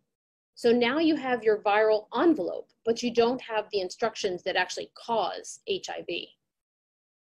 From there, you package that hemoglobin gene in the envelope, and actually, scientists use pieces of other viruses, such as VZV, to help make sure that envelope only gets delivered specifically into the blood stem cells and nowhere else. So then what language, language do we use when we talk about gene therapy? We use vector copy number. That means how many of those gene therapy letters that I just showed you are successfully delivered to a sample of blood cells. We also, also ask about transduction efficacy, which is the percentage of blood stem cells that have actually received that letter and the cell dose. How many of the patient's own blood stem cell doses do they get back? This is an example of how we interpret those data. Here on the left, you have, see stem cells, and each stem cell received one copy of each letter. That means they have a vector copy number of one because it's one letter on average is four letters per four stem cells. And since each stem cell received the letter, the transduction is 100%. In the example in the middle, two of these stem cells didn't get any letters, but two stem cells got two copies. So you still have an overall copy number that's four divided by only two, by four cells, excuse me. So your vector copy number is the same, but your transduction efficacy is only 50%.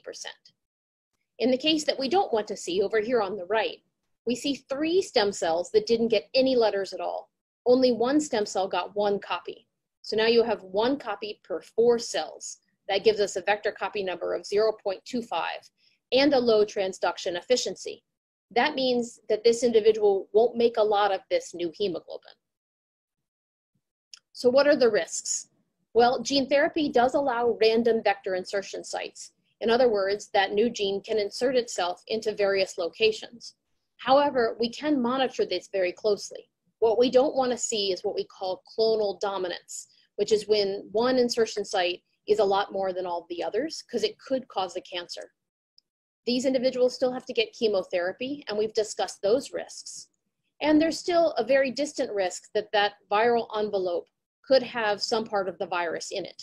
And so we do monitor, which thankfully we have not seen. Gene editing, like gene therapy, can also have unintended modifications or off-target effects. The technology allows us to modify for these, but it's theoretically possible that some smaller mutations could occur that we can't see and can't test for. These still use chemotherapy in order to make space in the bone marrow, and they sometimes use viral vectors. They also may use a technique called electroporation, where they shock the stem cells in order to get that CRISPR-Cas9 on the inside and that could lead to decreased stem cell survival. But the biggest risk, I think, is the failure to get clinical improvement. What we want to see most is improvement for the individual patient. So how do we grade a cure? Well, first we have a biologic definition. How much of the new gene or altered gene is being produced? And does that stop the cells from breaking down? And does that stop the sickling? And does it stop the cells from sticking to the inside of the blood vessel? Pain one of the biggest problems in sickle cell disease. So we want to see a complete reduction of pain episodes or a near complete resolution. We also want to see fatigue improve and other patient reported outcomes. Finally, we need organ-based definitions of a cure. We hope that this will stabilize any organs that have had dysfunction. But if it doesn't, and we see a little bit of worsening organ function, how much is acceptable if we see a biologic and a pain cure. And what do we think the future is? we have to define this grade of cure. We have to make sure we're honest with patients about out options and outcomes. We need to monitor long term, and we need to monitor long term disease management and cure. And then, most importantly, we have to make this therapy available, affordable, and universal. So, thank you again for having me today. We talked about the pathobiology of sickle cell disease, stem cell transplant for sickle cell disease.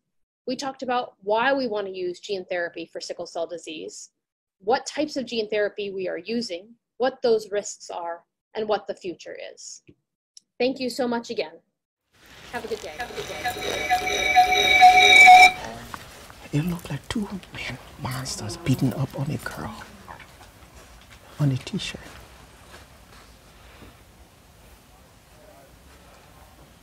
Thank you so much, Dr. Simone and Dr. Kanter, for that plethora of information uh, surrounding sickle cell, sickle cell. I'm so glad uh, that I can be in a space where I can be learning. So I hope that you all are learning as well.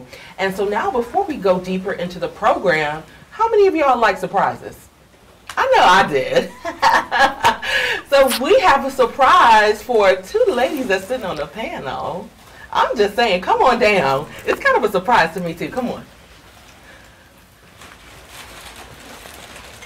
So it is my honor and pleasure to um, present Dolly and Dora with two Yeah, gifts. you was the two ladies sitting on the panel. yeah, but it is a surprise. Ah, the real wow. surprise. This one is for Dolly.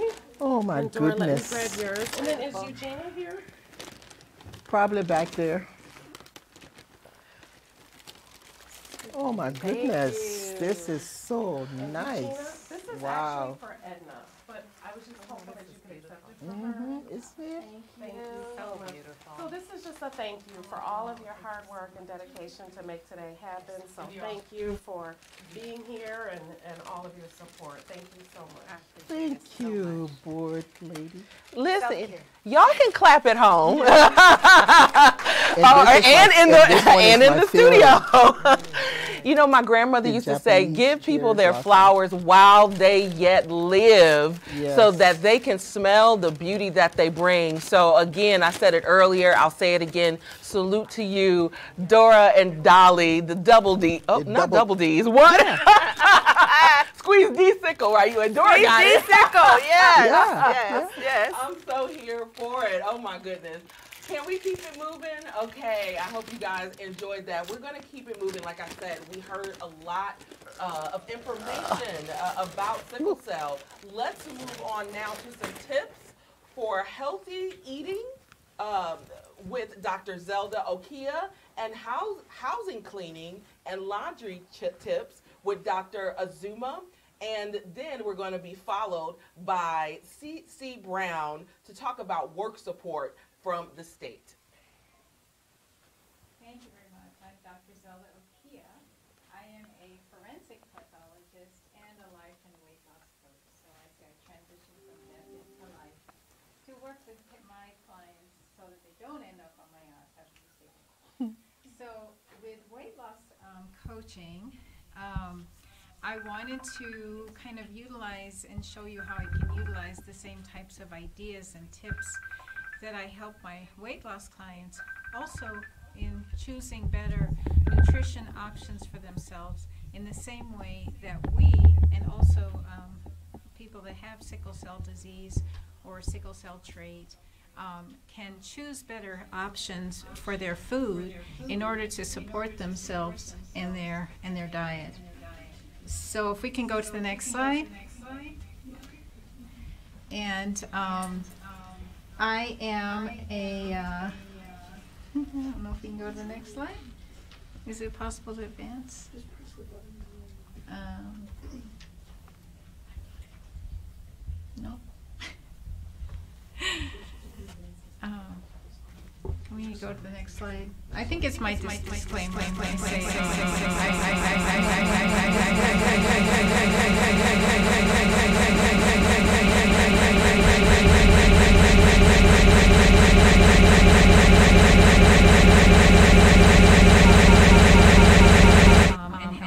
and healthcare professional because some of these um, vitamin supplements may have uh, may have effects on the medication and the way the metabolism of your medication. So you definitely want to um, talk to your doctors about that. Um, Even though I'm a medical doctor, I'm not your medical doctor. And um, they, they have all the information about your medical history and background. Um, Okay, great. All right, so my objectives are so that you would have a better understanding about the role of nutrition in sickle cell disease, recognize the relationships between um, protein and energy deficiencies in sickle cell and how that manifests in terms of growth and development, and then tips to consider as you're um, changing into or perhaps adopting more of a whole food um, diet for yourself. Next slide. So, um, as a coach, I work with my clients, particularly when they are facing things that might be difficult or more challenging for them. And um, one of the ways that I encourage them is to approach it with gratitude. And so, even if you are someone that struggles with your sickle cell disease, ask how you can utilize the information that you'll receive now and um, the recognition of your body's reaction and response to the, um, the changes that it's going through as a way to, again, help and support you. Sickle cell disease evolved as a means to prevent a more deadly infection. And um, so people that had the sickle cell gene were resistant, more resistant to malaria. So it's a way for our, bo- the, our body evolved for, um, for you know, long, longevity. But now that we're not dealing with that, then we're having secondary effects from that. But it's a way to just look at um, at the way that our body is protecting us and treat it with that respect and um, understanding and compassion. Um, next slide. So, although, as I said, I'm a medical doctor, I'm not your doctor, so definitely um, this is for educational purposes, and um, please share this information with your doctor if you want to implement some of these changes. Next slide. So, um, as Dr. Kanter very nicely explained, sickle cell anemia is caused by a change in an amino acid. Um, and uh, because of that, when there's low oxygen tension in the in the body, and the body experiences that, then the cells can tend to, to sickle and cause occlusion of blood vessels, and then we have the secondary um, effects because of that. Next slide. Um, so one of the things that she also did mention is about inflammation and um, sickle cell disease is a wearing of the body. A lot of a lot of that is due to the inflammation that occurs afterwards. And so one of the things that um, we do within True Nutrition is to promote um, the antioxidants and making sure that our body is well equipped to counteract the effects of um, the, um, the, reactive oxygen um, free free radicals that can occur, particularly in the face of um, inflammation. So that's where vitamins and nutrition really really comes in to support the body to for healing and um, an overall wellness. Next slide. So, sickle cell disease and nutrition, it's only since the 1980s that um, nutrition has been really used, looked at as a complication of the disease. And given the chronic nature of the um, symptoms, um, the best hope for uh, long-term um, treatment and well well-being is self-administered oral therapy. And so, um, looking at how can you utilize nutrition as an oral therapy, self-administered, to decrease morbidity and mortality, as well as improve the quality of life um, for those who um, have sickle cell disease. Next slide. Um, so this chronic hemolysis has a weathering effect, a chronic wear and tear on the body. And the normal recommended, recommended dietary allowances for the general population are uh, obvious are often insufficient when looking in sickle cell disease and there's um, documented chronic macronutrient as well as micronutrient deficiencies. Next slide.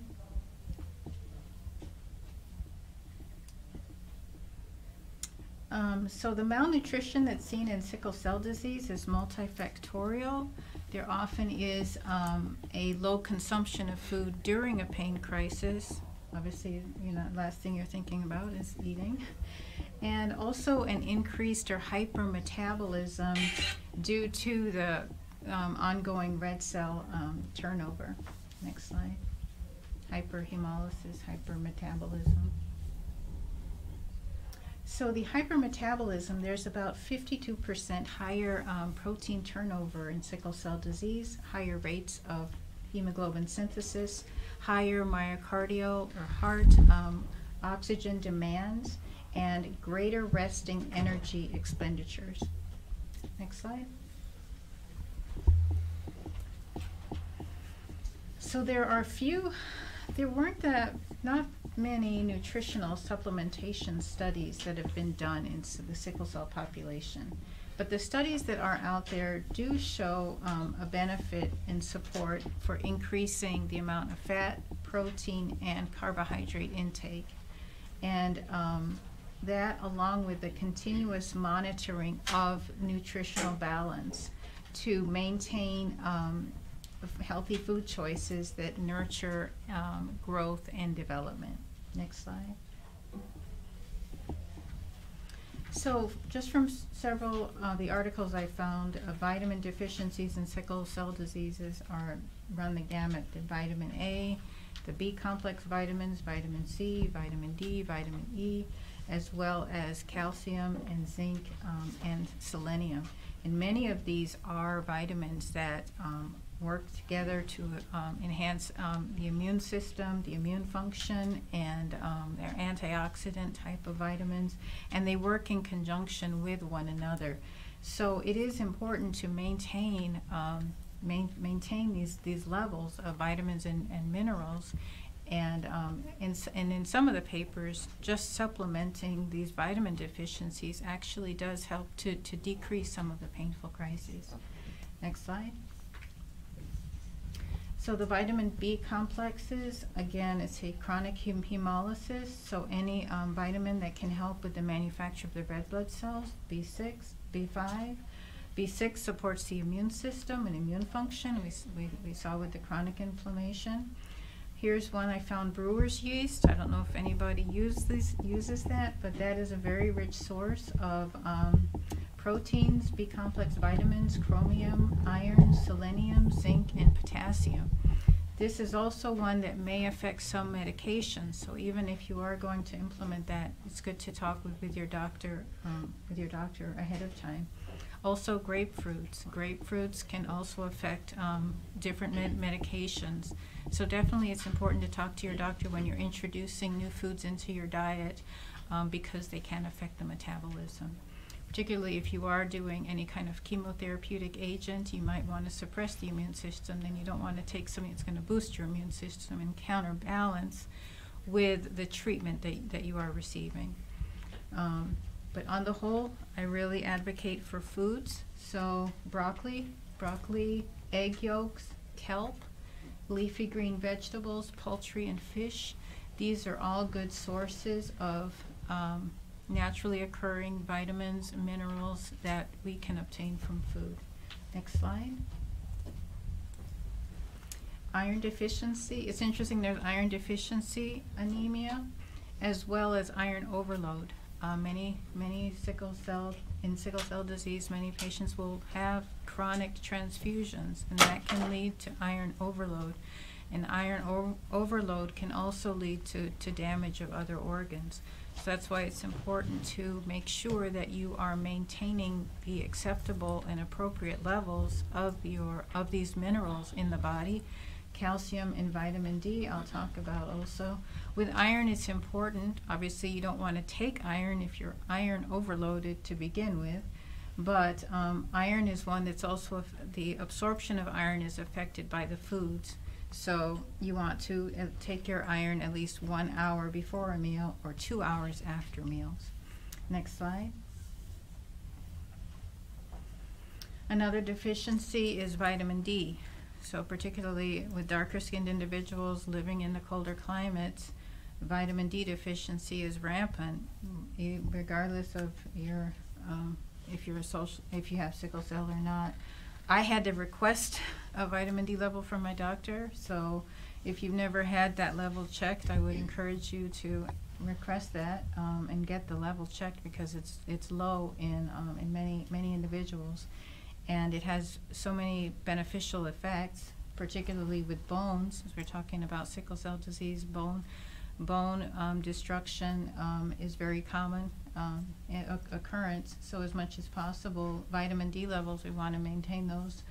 Um, it's it's in some of the food sources. Uh, got their cheese, uh, butter, fortified dairy products, um, as well as fatty fish. I do have cereals on there. It is in fortified cereals, um, and uh, other other items too. You can go to the next slide. Next slide. vitamin E, vitamin E is another is another one. Cold pressed vegetable oils, whole grains, dark leafy green vegetables. Next slide. Um, coenzyme Q is another um, supplement that I take that also. It's a very powerful antioxidant and um, it has many, many beneficial um, effects in respiratory diseases and asthma and also in other allergies. And um, it's found in many different uh, food sources, particularly fish. Next slide. So I want to just um, just some tips here. water, water, water. Drink um, drinking ad adequate um, water intake is so important. Um, dehydration increases the risk of a pain crisis. Dehydration also um, is a risk factor for um, if anyone has any kidney disease or if they're on metformin.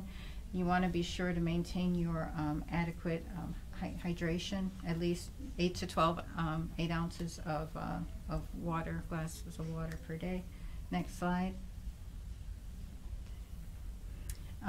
just advocating to read, read labels, to know what, what, what it is that you're taking in, into your body, particularly with salt.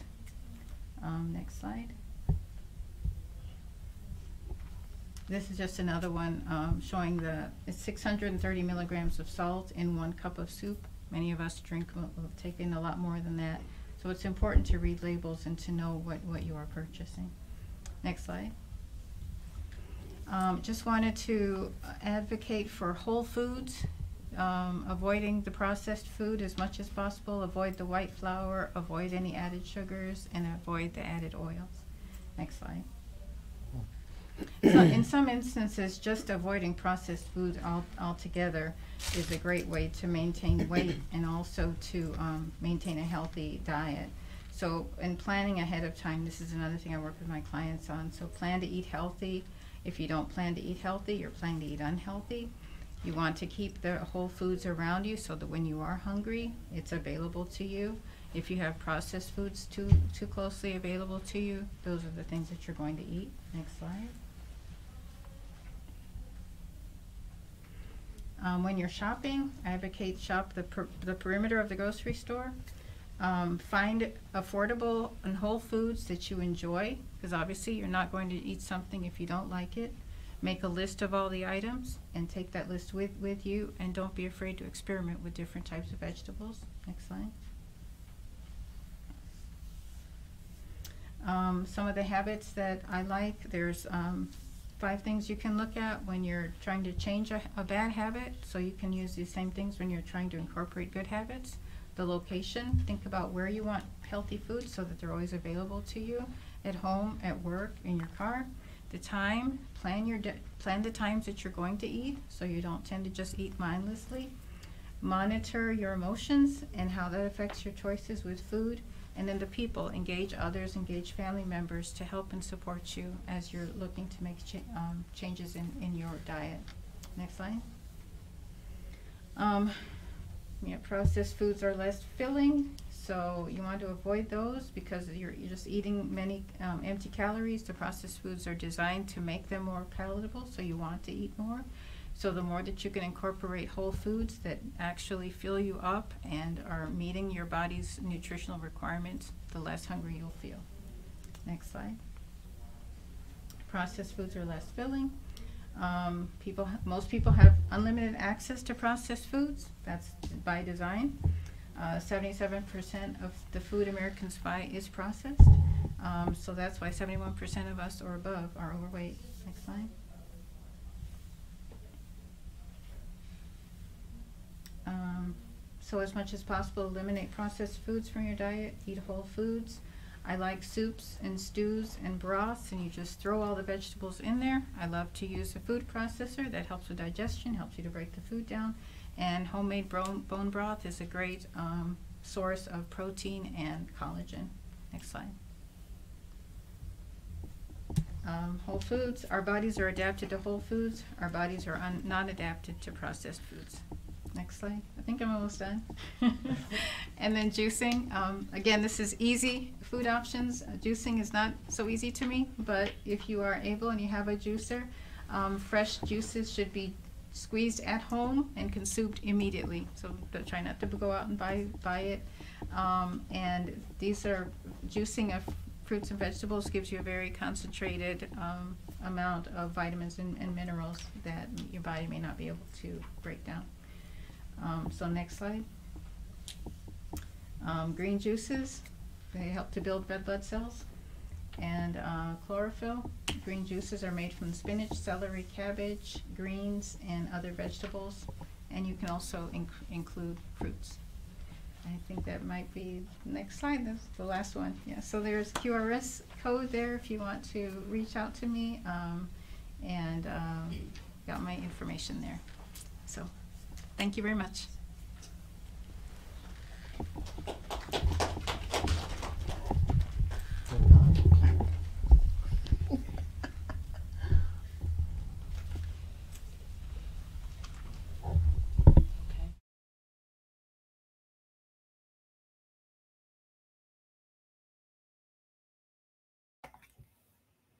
They can see me. Hi, can you guys all see me or hear me? Okay, hi everyone. My name is Zuma. It's a pleasure being here today. Um, thank you.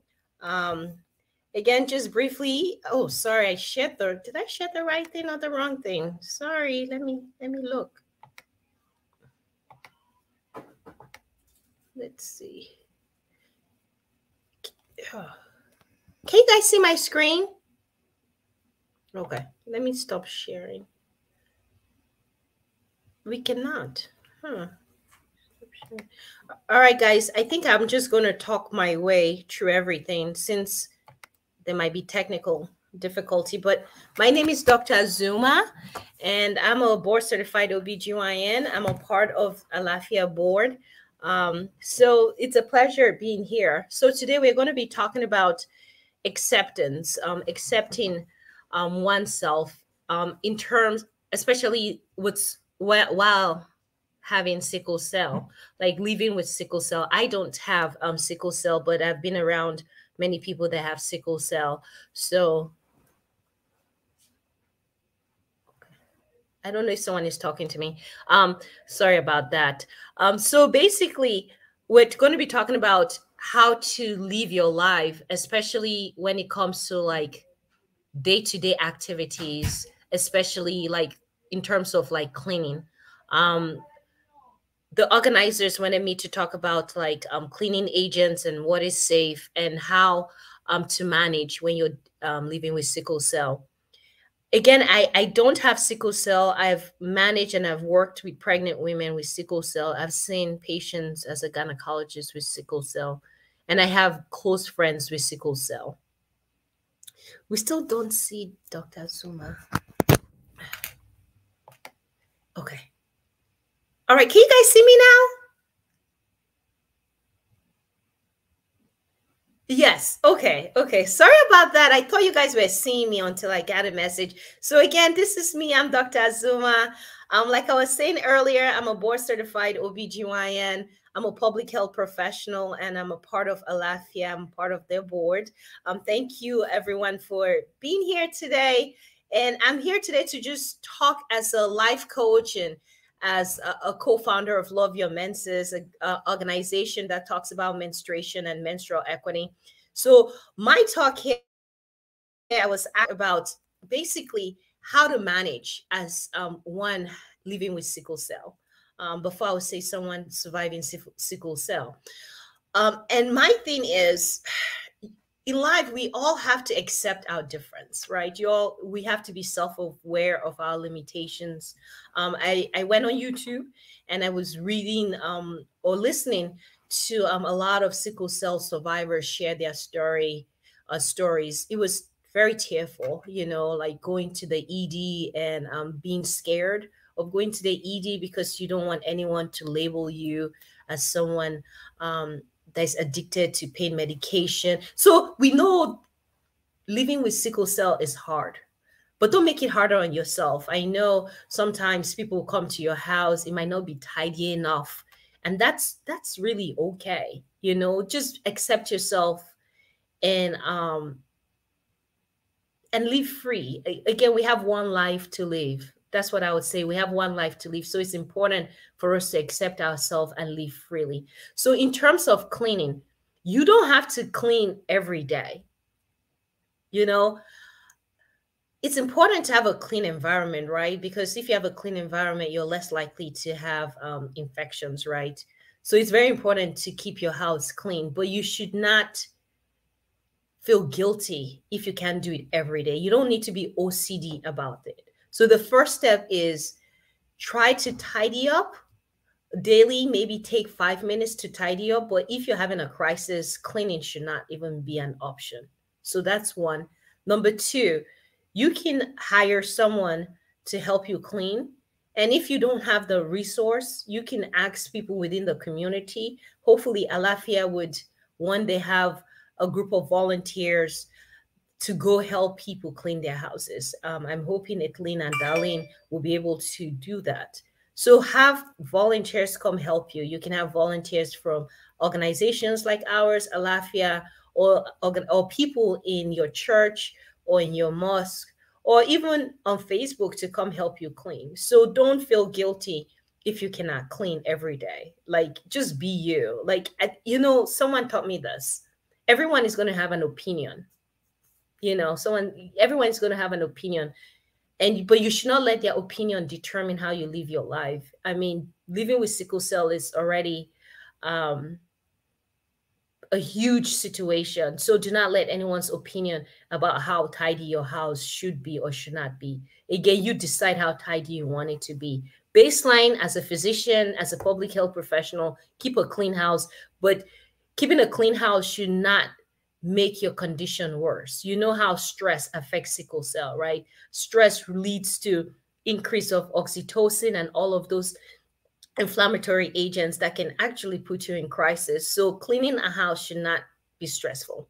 So my second point is okay, my second point is the cleaning agents. You don't want to use toxic agents that can even put you to crisis, right? So try and get agents that are safe what I would recommend you to do is go to a website called Environmental Working Group, EWG. They have a list of agents that are safe to use, agents that will not cause you to have teary eyes, agents that will not affect your respiratory system. So I, I out of um, um, I'm not going to tell you what agents to use because I don't do that. I like each person to be an informed um, consumer. But I tell you, go to EWG and you will get the information. There are some cleaning agent agents, maybe 10% that have their ingredients listed behind, so you can see if they have toxic um, chemicals. So formaldehyde will be one that I will avoid um, because they do affect you um, acutely and also they affect the hormones if we talk about menstruation. But we're not here to talk about menstruation. I'm just here to tell you one um, you know it's hard living with sickle cell right? It's hard but you know what? You're a champion and you can continue to thrive. Um, thank you all speakers. We've seen different um, treatment options. We've seen everything. So i believe that one day we're going to all do better. And maybe one day there will be no more sickle cell patients. So I'm going to end here and say thank you so much for the opportunity um, to speak today. I appreciate it. Keep up the good work. Thank you.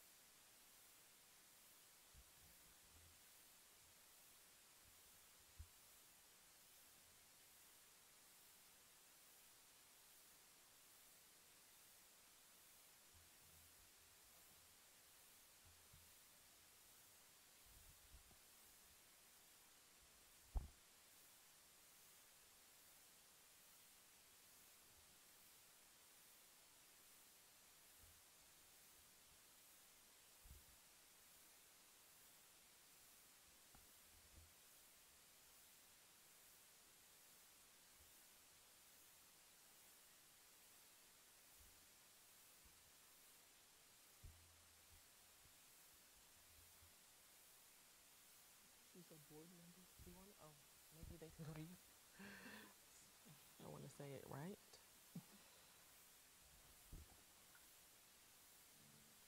She's a board member for Alafia. Mm-hmm. Thank you. Or works for Aurora.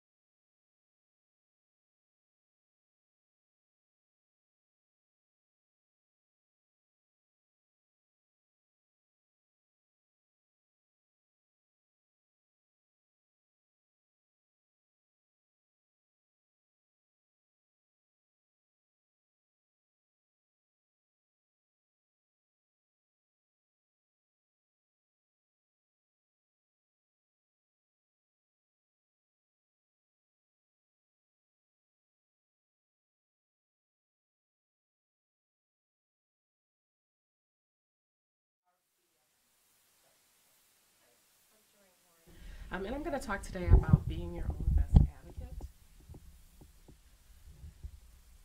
I'm just waiting on the PowerPoint slides to pop up, but um, so today I'm going to talk about how you can be an advocate for yourself, um, as well as give just a real brief overview of sickle cell disease. I know we've covered a lot of information already about it, as well as talk about health disparities, how that impacts your care, and how other people can also be advocates for you. So whether that's your primary care physician, friends or family, um, but I want to share some tips on advocacy in the hospital and what are the best ways to go about setting that up. So we talked briefly already about sickle cell disease and what that means. Um, hopefully we'll get the PowerPoints up so you can see them shortly. Um, but sickle cell disease is a trait that is carried, as you heard before, we talked about a lot of gene therapy and how sickle cell disease the cells, so I'm not going to spend a lot of time about that. But if you have two parents that have sickle cell trait, there are four possible outcomes if they have four children. So one child might have the actual disease of sickle cell, one child might carry the trait, and then there may also be two children that are not affected at all by sickle cell disease. Um, so just sharing, um, I'm sorry, one would not have it, one would have it, and two would have the gene carry as carriers. Um, so hopefully we can get those slides up so you can take a look at that. We also discussed already signs and symptoms related to sickle cell disease and how that impacts the body. One thing I think that's really important to remember is that sickle cell really affects every system in the body. So whether we're talking about the brain, um, the joints, the limbs, sickle cell disease impacts every bodily system. Um, Dr. Simone did a great job kind of walking us through um, how that impacts our body, that wear and tear that continually happens when one is experiencing sickle cell disease, but also primarily when one is experiencing a crisis. Um, so around health disparities, health disparities are differences in the incident, prevalence, and mortality of a disease and the related adverse health conditions that exist among a specific population group. Um, if you could fast forward to about slide number seven. Slide seven, slide seven.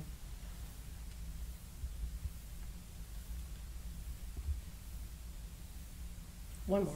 Seven. One more. Thank you. Go back. Um, and so knowing and understanding health disparities really can help you address your own health care.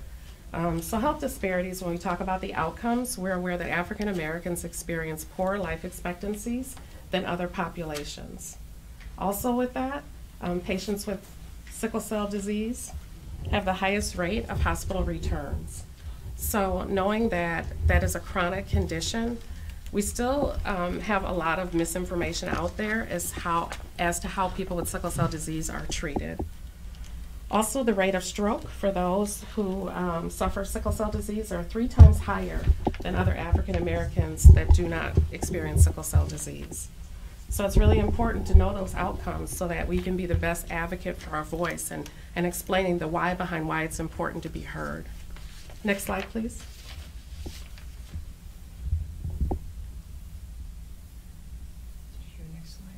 Thank you. So another um, disparity that we see are the resources around sickle cell disease. So the majority of sickle cell patients are Medicaid beneficiaries. We also see a huge number of um, states that are requesting to not have Medicaid expanded. So when you talk about providers that are available to care for those with sickle cell disease, we clearly have some disparities. Um, if we were talking about some other conditions that do not have Medicaid supported individuals, you know, people want to care for those populations. So we see a significant, if you put mapped it out on a map, a significant difference in where the African American populations are living at in the United States and where the Medicaid providers are available. So what is the why behind that? I mean, we don't know. Is it racism? Is it politics? Um, is it some other factor? But I think it's just important if you're experiencing or have a loved one that has sickle cell disease to be an advocate not just for their health care, but also in the um, political arena as we talk about Medicare and Medicaid expansion. Another dis, uh, healthcare disparity around resources is that um, there are longer wait times for those that are experiencing sickle cell disease. I'm going to talk a little more about that on a different slide, but um, also the number of physicians that are willing and trained to treat sickle cell disease patients is also a significant disparity. For the number of individuals that are experiencing sickle cell disease, um, there is not nearly enough providers that specialize in that as a treatment or as a disease. Next slide, please. So why do patients need advocacy? If me talking about the health disparities didn't help you understand, um, I'll go back to a term I believe Dr. Simone also used the word invisible. That sickle cell disease is really invisible. You know, if you walk into the emergency department and you have a limb cut off, you get a treat, treatment pretty quickly, right? If you walk in and you're having a stroke, you're going to get treatment pretty quickly. It's something people look at you, they see it, and they want to respond and help. With sickle cell disease, individuals are walking in, and like she said, a lot of times people are waiting until their pain is at a 10 out of 10 before they're going into the hospital because they're not getting treatment when they walk in at a 5 out of 10. Um, so sickle cell is kind of seen as that invisible disease. There isn't any imaging that can be done on their body to say, here's the level of damage that's happening when people are in crisis. But it's really important for people to understand that pain equals damage. And when you're in the emergency department, it's important to be an advocate or have an advocate with you so that you can get the care you need. Patients are expected to sit quietly um, and await treatment. I love the suggestion about putting a blanket, bringing a blanket with you so that you can stretch out on the floor. That might motivate them to move a little quicker. But I think even more importantly, being that voice for yourself and talking about what your needs are, having a treatment plan, having a physician that supports you and can be an advocate for you are also ways that we can get the care we need. Next slide, please. So this is an emergency room guideline that I, I'm not sure how many people are aware of, but this was developed by the National Institute of Health, the NIH, and also the American Society of Hematology. And it's a guideline that states a patient with sickle cell disease in an acute vaso-occlusive crisis should be seen and evaluated 30 minutes from triage or one hour from their arrival in order to prevent end organ damage. So one thing I do know as a registered nurse and working in healthcare for 20 plus years is hospitals don't like to be sued. So when we walk in and we start saying, I'm aware that within 30 minutes I'm to be receiving treatment, and we're pulling out our NIH guidelines and we're opening up our binder and showing them that we're aware of that, um, your time of waiting will decrease. Um, so how we walk in with education and how we teach others to be our advocates and have a voice and be educated for our needs is really important. Next slide. So there are three main types of ad advocacy that I just want to address. So self-advocacy, which we talked about, friends and family being advocates for you, and healthcare provider advocacy. So again, we don't want anyone with sickle cell disease receiving their primary care in the emergency department. They need to have a primary doctor that specializes in sickle cell disease so that they can receive the proper care and advocacy that they need. Next slide. Self-advocacy. So number one thing I tell any patient, I don't care what disease or disorder you have, is you have to educate yourself about your illness. You have to know what the guidelines are, know what the recommendations are, stay up on research. And I know a lot of people would say, well, that's not really my job. That's what my doctor is for. But we have to be our best advocates. And when your doctor is not there for you, or you're going to the emergency department at 2 o'clock in the morning, you want to make sure that you have the knowledge to have your needs met. In addition, discuss your needs with your primary care provider. So whether you're seeing a hematologist or an oncologist um, or just a primary internal medicine doctor, discuss your needs with them. Talk about a treatment plan. Talk about how are we going to manage my crisis next time it happens. Talk about what worked well for the last time. I love the suggestion of coming into the emergency department and asking for IV fluids first you know, get that out there that I need to get a line started. I know I need to have fluids. I know that's worked for me really well in the past. And then as a side note, we slip in and can I have something for pain? Um, because we know that there's a lot of stigma when it comes to requesting pain medicine in the emergency department. And patients with sickle cell disease can be seen as drug seeking. So I think it's really important for us to express our needs, have our provider on board with it, and um, I'm going to talk also about creating a healthcare binder and what does that mean. So when I walk into the emergency room, I want to make sure every time I go, I bring my binder with me. Next slide, please. So in that health resource binder, we want to make sure that you're including things like who's your care team, who's your physician, what's their contact information, who's on call for them when they're not available. Your provider should be able to share that information with you. You also want to make sure you have family and emergency contacts available so that they know who to call for you in the event that you're in crisis and really need someone there for you. Having your insurance information handy is another important thing. And if you can have an understanding of what your benefits include, that's also great. Advanced directives. Anyone with sickle cell disease that does not have advanced directives should put that as number one on their list. Advanced directives tell people what you want in the event that you can't speak for yourself. So you should have that information already put together. Family history. Be willing to share if you have a family history of sickle cell disease. What genetic testing have you had done? Um, and your personal health history. So I was hospitalized last month. When I was hospitalized last month, these are the medicines I was given. Here's the IV fluids I was given, and that worked really well for me. Next slide. And I know this is kind of small to read, but your diagnosis, because you know it doesn't just it, it might start with sickle cell disease, but there may be other mitigating factors to your health. A treatment plan of care, and you see in red I have in bold uh, pain management, a plan that includes pain management. This is where your primary doctor can help be that silent advocate for you by putting that on paper, talking about what works for your pain and what doesn't work for your pain. Um, any preparation for surgery, procedures, questions that you might have because this health binder won't just go with you to the emergency department, but it should go with you to your primary's office as well. So you should go in, hey, these are the questions. I was seen in the emergency room and this, this, this happened. Why did that happen? What could I have done different? What should I have asked for? Test results, labs, medication lists. Um, if you have a side effect to a medication, be willing to speak to what that side effect was and when that happened. Because a lot of times people say, well, I'm allergic to this medicine. Well, what are you allergic to and what happened? Well, I don't know. Someone just told me I was. Well, then they want to experiment to see if we give it to you, do you really have an allergy to it? So making sure that you understand what those side effects and allergies are um, to the medications. Any supportive care services that work for you, integrative therapies, and of course, social service networks. So if you need outside help once you're discharged, you want to make sure you include that in your binder as well. Next slide, please. Family and friends as advocates. I tell anyone that I love and care about, even people who I don't love and care about, um, don't go to the hospital alone. Don't ever go to a hospital alone.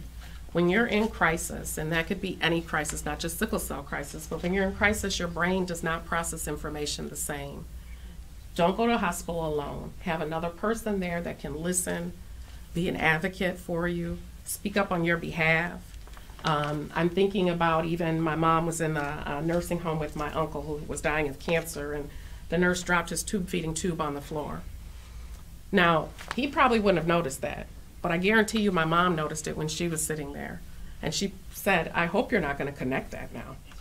Um, and made her go get new tubing. And, and, well, I'm telling you, had she not have said that, or had she not have been there, it might have been reconnected. Um, it's really important to have that extra set of eyes with you. Someone else that sees it from the outside and is not in pain. For processing of information, family and friends can be great. You know, they can write it down, they can record it on their phone, they can do whatever they need to do to preserve that information so that you have it later.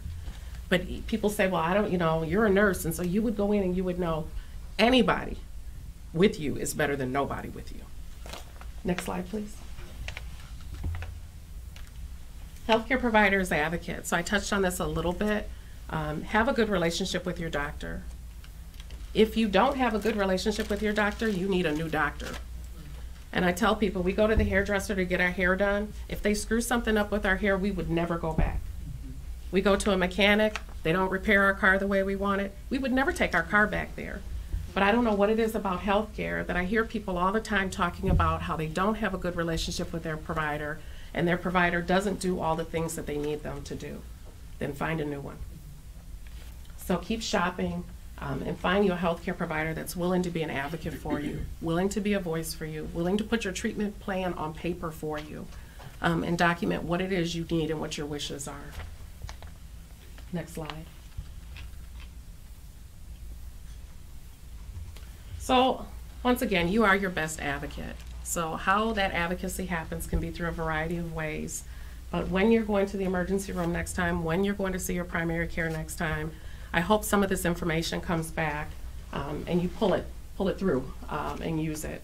So whether it's you, family and friends, provider, knowledge is power. And the more that people spend time with you in the healthcare setting, the more knowledgeable they become. You are the expert on you. So when people come and say, well, can you rate your pain for me? And you say it's 10 out of 10, and they say, well, you don't look like it's 10 out of 10. I want you to remind them that you are your best advocate, and you know what's happening in your body long before anyone else can tell you. Education is key. Next slide.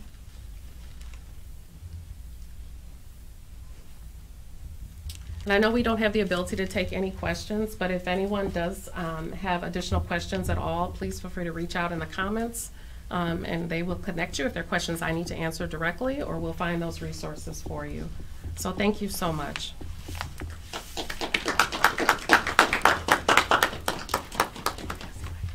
Thank you. You're welcome. Amazing information on advocacy from Shireen. My goodness. And she's also on the board of directors for the Alafia uh, African group. Is that, did I say it correct? Family Resource Center. Um, that's why I'm so glad I got my co y'all my co-host. I got my co-host on the stage with me, and also um, just want to bring back or elevate again Dr. Zelda Okia um, who spoke about uh, healthy eating tips, and also Dr. Azuma, who talked about housing, uh, cleaning, and laundry tips. And so before we go to um, our next person, I wanted to chat with the ladies um, on the panel just about what, what stood up for you as we were listening through uh, so many different presentations. Um, I know specifically there was a couple things just about that being your own advocate. Mm-hmm I mean, I can you can take that for for so many parts of your life. So that was one of the things. And then also in the the house cleaning part, what I heard beyond just the the cleaning aspect was show yourself grace, mm-hmm. right? Because you're in pain. I mean, a lot of times you're dealing with things and you're trying to uh, measure up to what society says is normal. Mm-hmm. But you, you have to find your own pace and what's normal. Mm-hmm. What stood out for you, ladies? Dolly, would you like to go first because I have. Okay. Go ahead, Ms. Dolly. well, so many things stood out, and um, yeah.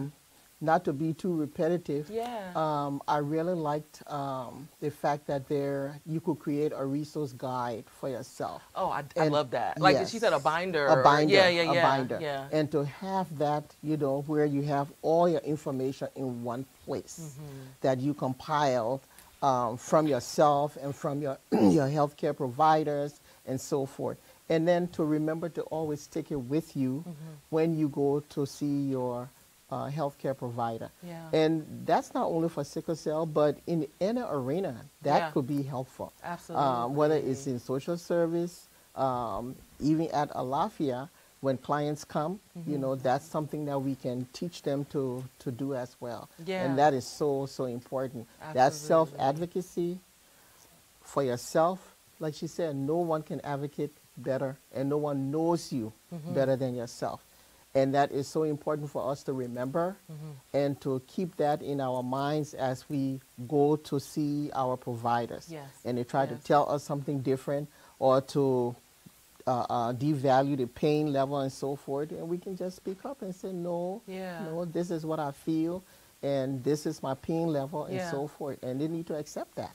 I love that, and I think back to that part about that binder piece. Like, like, like, um, there was a, a, few people that were saying a lot of times if you're in pain or at a level ten, I can't think clearly. Absolutely. So my binder is going to speak for me. No, this is what had. This is what they gave me before, mm-hmm. and that this is going to advocate for you when you can't. You don't have the words to speak. Mm-hmm.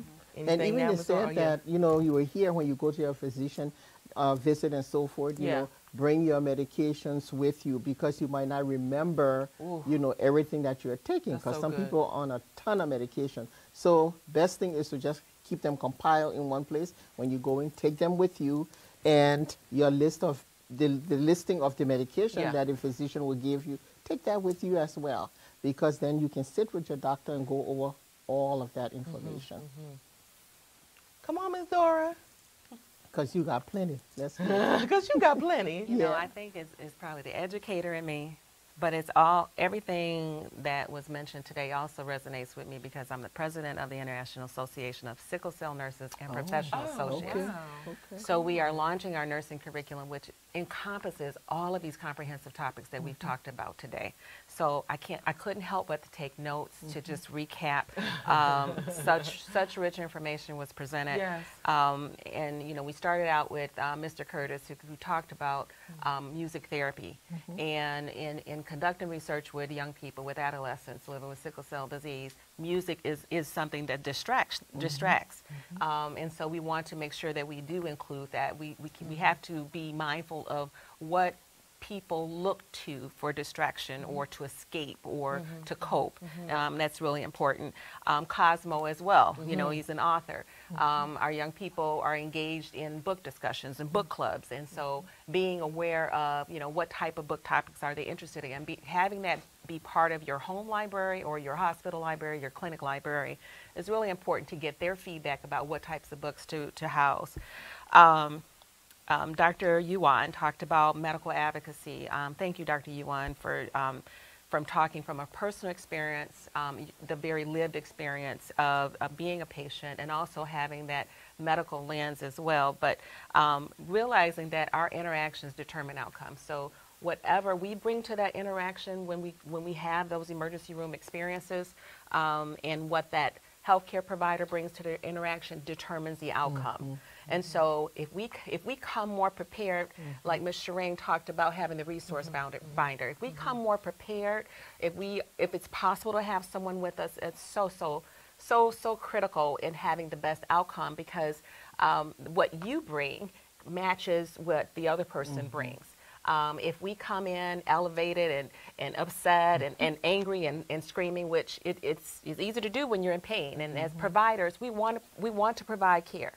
Um, not, not all of us are bad. Mm-hmm. So not all of us, I should say, need, need to take our knowledge and, and our sensitivity and our emotional intelligence up a few notches. Mm-hmm. Not all of us are there. Bad word. Many of us want to provide the best care, and the only way we can do that is for you to guide us mm. as providers. Mm-hmm. Um, nursing knowledge and medical knowledge can only do so much. We need you to guide us. Um, sorry, I'm going. I gotta refresh my phone. Oh, no, it's fine. but um, really good. the other things, um, Dr. Kanter talked about um, so many medical advances. There's so many medical advances, and that's a wonderful thing.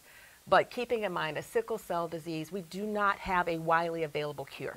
We have not cured sickle cell disease, so we have to, you know, we, we're still understanding about what we're using right now in terms of medical advances to cure. Bone marrow transplant, we've had successful success with that. Gene therapy, we're seeing some success with that. We're still understanding things about gene therapy and about medication.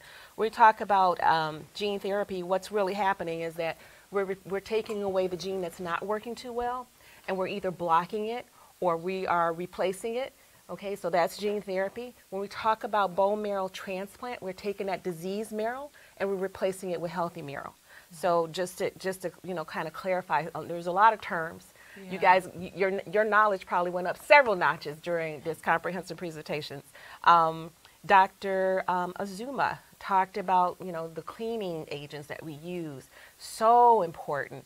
Um, I've even removed um, like plug-ins because they can be very toxic, and I'm replacing them with essential oil plug-ins. So look at look at your um, your products. Do an evaluation um, and do it periodically. Don't just do it one time because things do change. We Mhm. learn about exposure, environmental exposures all the time. Um, Dr. Okia, thank you so much for talking about nutrition, um, a, a topic that is often neglected. And it's something we need to talk about more with our sickle cell population, understanding that there are vitamin deficiencies, that protein and carbohydrates that are on board um, are, are usually lacking. And so when we address that, the chances of having pain crises does go down. So it's really important to, to do that. Um, and um, let's see, Ms. Shireen, again, she talked about stigma. Um, she mentioned um, a little bit about stigma, but I want to say stigma is real. You do not have to have sickle cell to have to experience stigma. Stigma. I'm a healthcare provider, and and and I can go into a hospital setting and experience stigma. A stigma. I'm Mhm. sorry. Um, sometimes when they find out I'm a healthcare provider, then Mhm. things change. Mhm. So stigma is very real. They will treat you a certain way because of how people assume they make assumptions about you. So the more that we can advocate for ourselves, the more that we can prepare for those um, encounters, the more that we can come and say, here's my information. I may not feel well enough to review it with you, but it's right here. Um, the more that we can show our faces when we're feeling well, so that they know that when we show up and we're not feeling well, that they give us the best care um, is really, really important. Being a self advocate for ourselves is important. Advocating for others is important. And let me let me just say this: your tax dollars goes to the NIH. Your tax dollars. So Tell them what NIH stands for. Na- the NIH, which uh, Ms. Shireen, thank you, Ms. Dolly. Ms. Shireen mentioned it earlier too. The National Institute of Health, um, when she was talking about the guidelines for treatment for sickle cell disease, um, you know, and, and then in terms of funds for re- research, um, that, that, that your tax dollar goes to the National Institute of Health. Um, they're making decisions about where funds go. They're making decisions about guidelines and protocols. So you have a right as a taxpayer to voice your opinion about where funds should be directed, to voice your opinion about procedures that are in place. Um, so, so for our sickle cell warriors, not only are you a warrior and you deserve the best uh, treatment and attention and support, you are also a taxpayer. So you, you need to use your dual power, your dual, duo power, as a warrior and as a taxpayer. Um, and then I just want to say for our sickle cell community, we have to come together. We have to come together and invest in, in, in you know, in, in advocating and in, in, you know, speaking with NIH representatives um, at the National Institute of Health, um, coming together in our community and, um, and, and, you know, making sure we're not duplicating things because that will, you know, kind of reserve our resources, but that we can be collaborative in how we do things, um, and then we can more comprehensively address issues, and um, and just, you know, be aware. There's something to learn every day. As an educator, I learn something every day. I don't know it all. I learn from my patients, and I will tell you, my, my, my best learning experience was from a preschooler.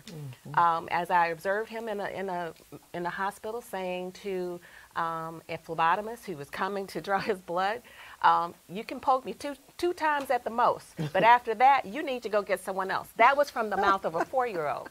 And so if a four-year-old can advocate for himself, Mhm. surely we as a community can advocate for young people, for uh, young adults, for adults, for older adults across the board. And so I just want to encourage us as we continue to be advocates for all.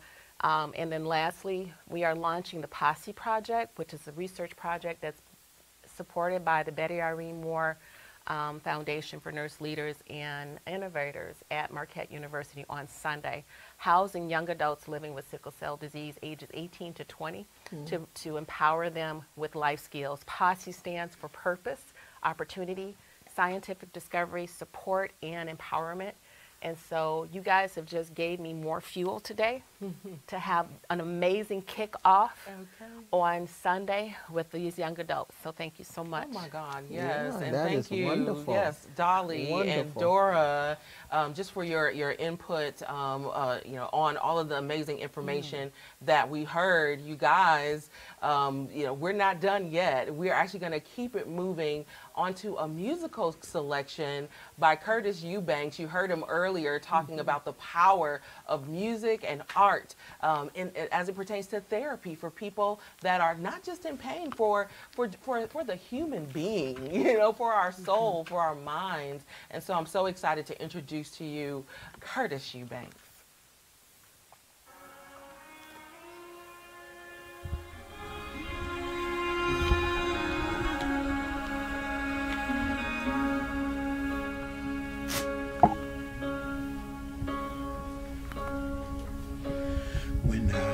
Am down and oh my soul so weary. When troubles come and my heart burden be, then I am still and wait here in the silence until you come and sit a while with me. You raise me up so I can stand on mountains. You raise me up to walk on stormy seas. I am strong when I am on your shoulders. You raise me up to more than I can be. It is my hope today that everybody who's watching will feel raised up to a higher place because of all the fuel, because of all the presenters, because of all of the knowledge and all of the information from health to wellness to diet to nutrition to being a self advocate to reaching out to a friend and not going through this alone. We are all stronger together. And I want you to know that this is raising you up even right now. You raise me up so I can stand on mountains. You raise me up to walk on stormy seas. Am strong when I am on your shoulders. You raise me up to more than I can be. You raise me up to a higher place. You raise me up so I can stand on mountains.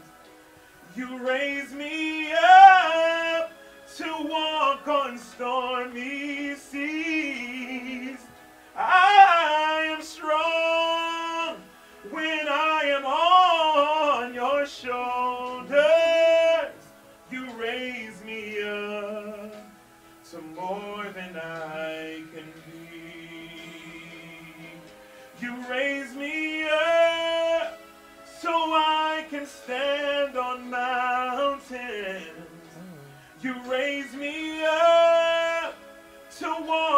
stormy seas.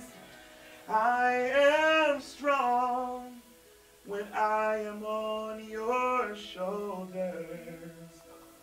You raise me up to more than I can be. You raise me up to more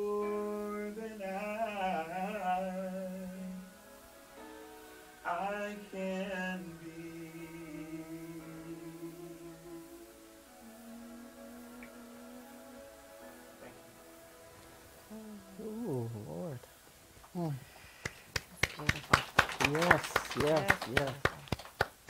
Mm.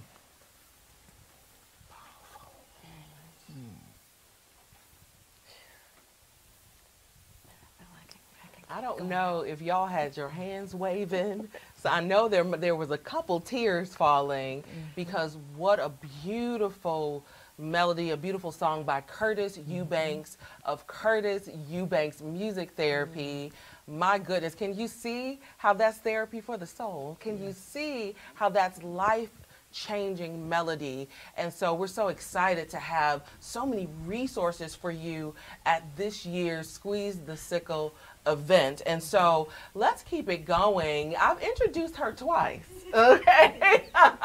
but they say three times a charm and she's worth every bit of it. Y'all give it up. Y'all feel like I got a stage full of people. I'm used to that.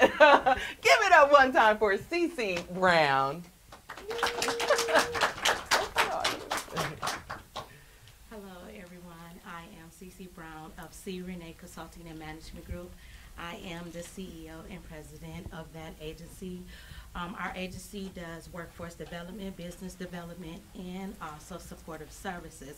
So when I got here and I was hearing about all of the advocacy, I was like, yes, I am in the right room, right? uh, we teach in every individual about how to stay um, active in a home, in employment, and in a business if that if that's what they choose to have. Um, I am excited to be here. Thank the host for um, offering us to be here today. Um, so we have three divisions of services, workforce development, business development, and also supportive services. In our supportive services agency, we want to help you stay as independent as possible. So we can help you with, um, with all cares as far as um, um, housing resources, whatever it is that you may need to make sure that you're able to stay as independent as possible. If you need somebody to come in and help you organize, if you need somebody to come in to help you, uh, um, um, you know, wash dishes or whatever those things are, our supportive si- services side of our agency will be able to help you do that.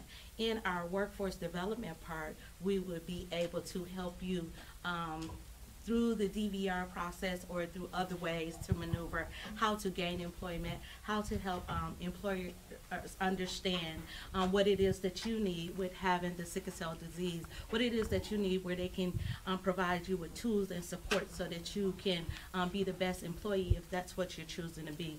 Now, my favorite topic is the business development side because I love to um, um, encourage us um, to be able to own and start our own businesses and succeed in those businesses. Because sometimes we go to work other per, other people um, jobs and we're not able to continue to work those jobs because of the health um, crisis or when we're in crisis. So being able to have your own business, sometimes you're able to do those at home when you feel better, you know, just off the cuff. So. Again, my name is Cece Brown, and I am the CEO and president of C. Renee Consulting and Management Group. And we are located here in Milwaukee, Wisconsin, um, right on 35th and Flores. I believe they have our information up, um, and I know I'm going really fast. I'm sorry.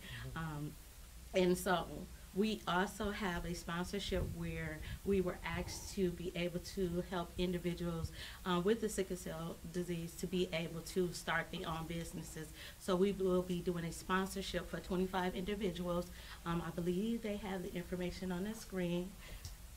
Um, if not, you can reach me at 414-982-5275. Our uh, website is www.creneconsulting.com. That's www.creneconsulting.com.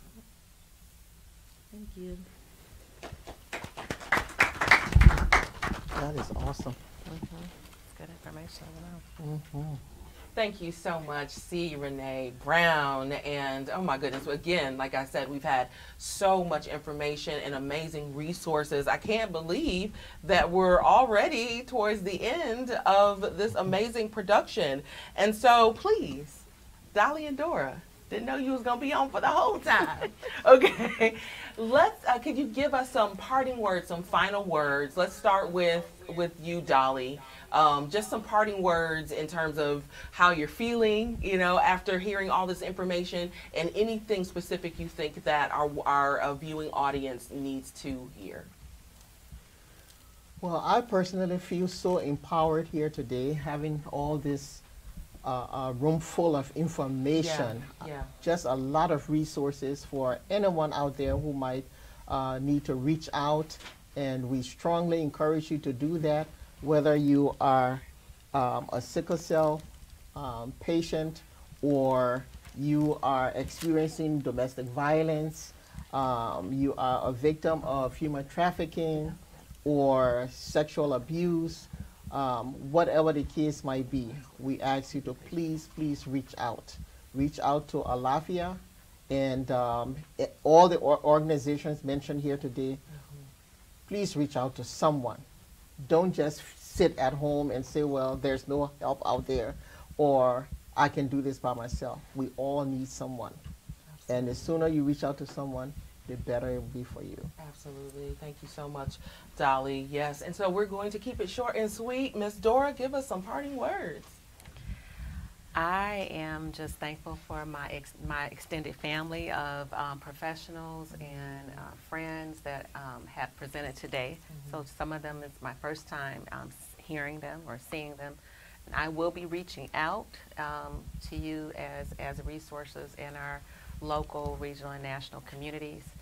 And I just like to encourage everyone to uh, mentor someone if you're not already. Um, I, I'm, I'm mentoring four promising sickle cell disease nurse researchers. I'm the only one in the Midwest sickle cell disease nurse researcher, and so it's important to pass this baton on um, to people who will carry it even further.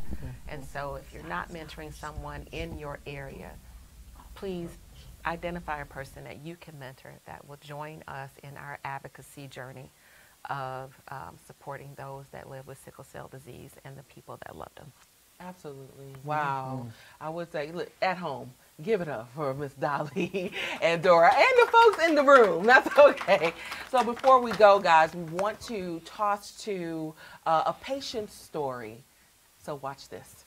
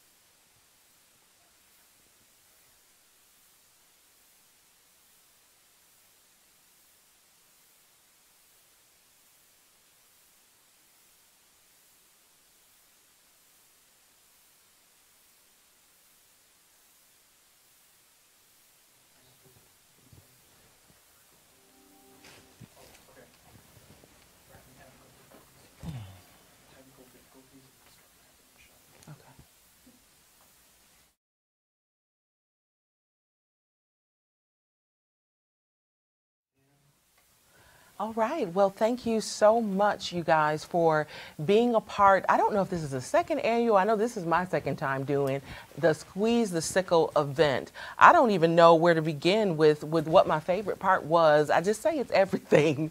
Um, I can't believe how quickly uh, those hours have passed, but I hope that you have garnered something, gained some. I know you have gained something more, whether it be a new resource, more information, um, new connections or, or, or what, whatever it is that you needed today when you decided to tap in and watch this year's event. So, again, um, a, an illustrious shout out to uh, every person that spoke today, um, and specifically, um, Miss Dolly and Dora for being my co-host. They didn't know they was gonna be my co-host No, today, but they did an amazing job. And um, also Dr. Uh, Passaway, uh, Curtis Eubanks, Cosmo, Dr. Simone Uwan, Dr. Kanter, Dr. Zelda Okia, Dr. Azuma, Cece Brown, Shireen, uh, The Patience Moment uh, and, and so much more. Again, although we are sharing information, who wants to talk to an empty room? So we're also grateful for each of you being here. So do me a favor, share this with a friend, share this with a family member. Uh, each one teach one, each one reach one. Let us let us do our own part. Sometimes we feel like we need to do so much. We need to uh, maybe you need to give a, a large monetary amount. Although we don't mind that, right? We'll take that too. Right. we don't mind that. However, it, do what you can. So if it's a share, if it's a like, we need you. And so the way we began is how we're going to end. I'm going to toss it to my brother uh, uh, from another mother. Okay, Deontay, give us some some more drum on our way out.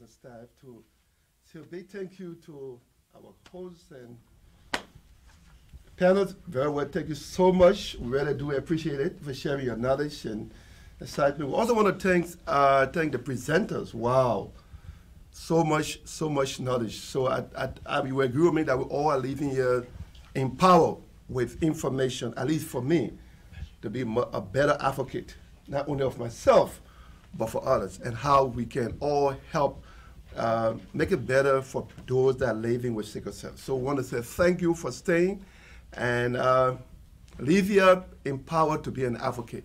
Thank you so much. Thank you, students. I want to thank our studio audience. Thank you so much, guys. You guys have been wonderful. Thank you for accommodating us. Thank you for your expertise. We really appreciate you guys. Thank you.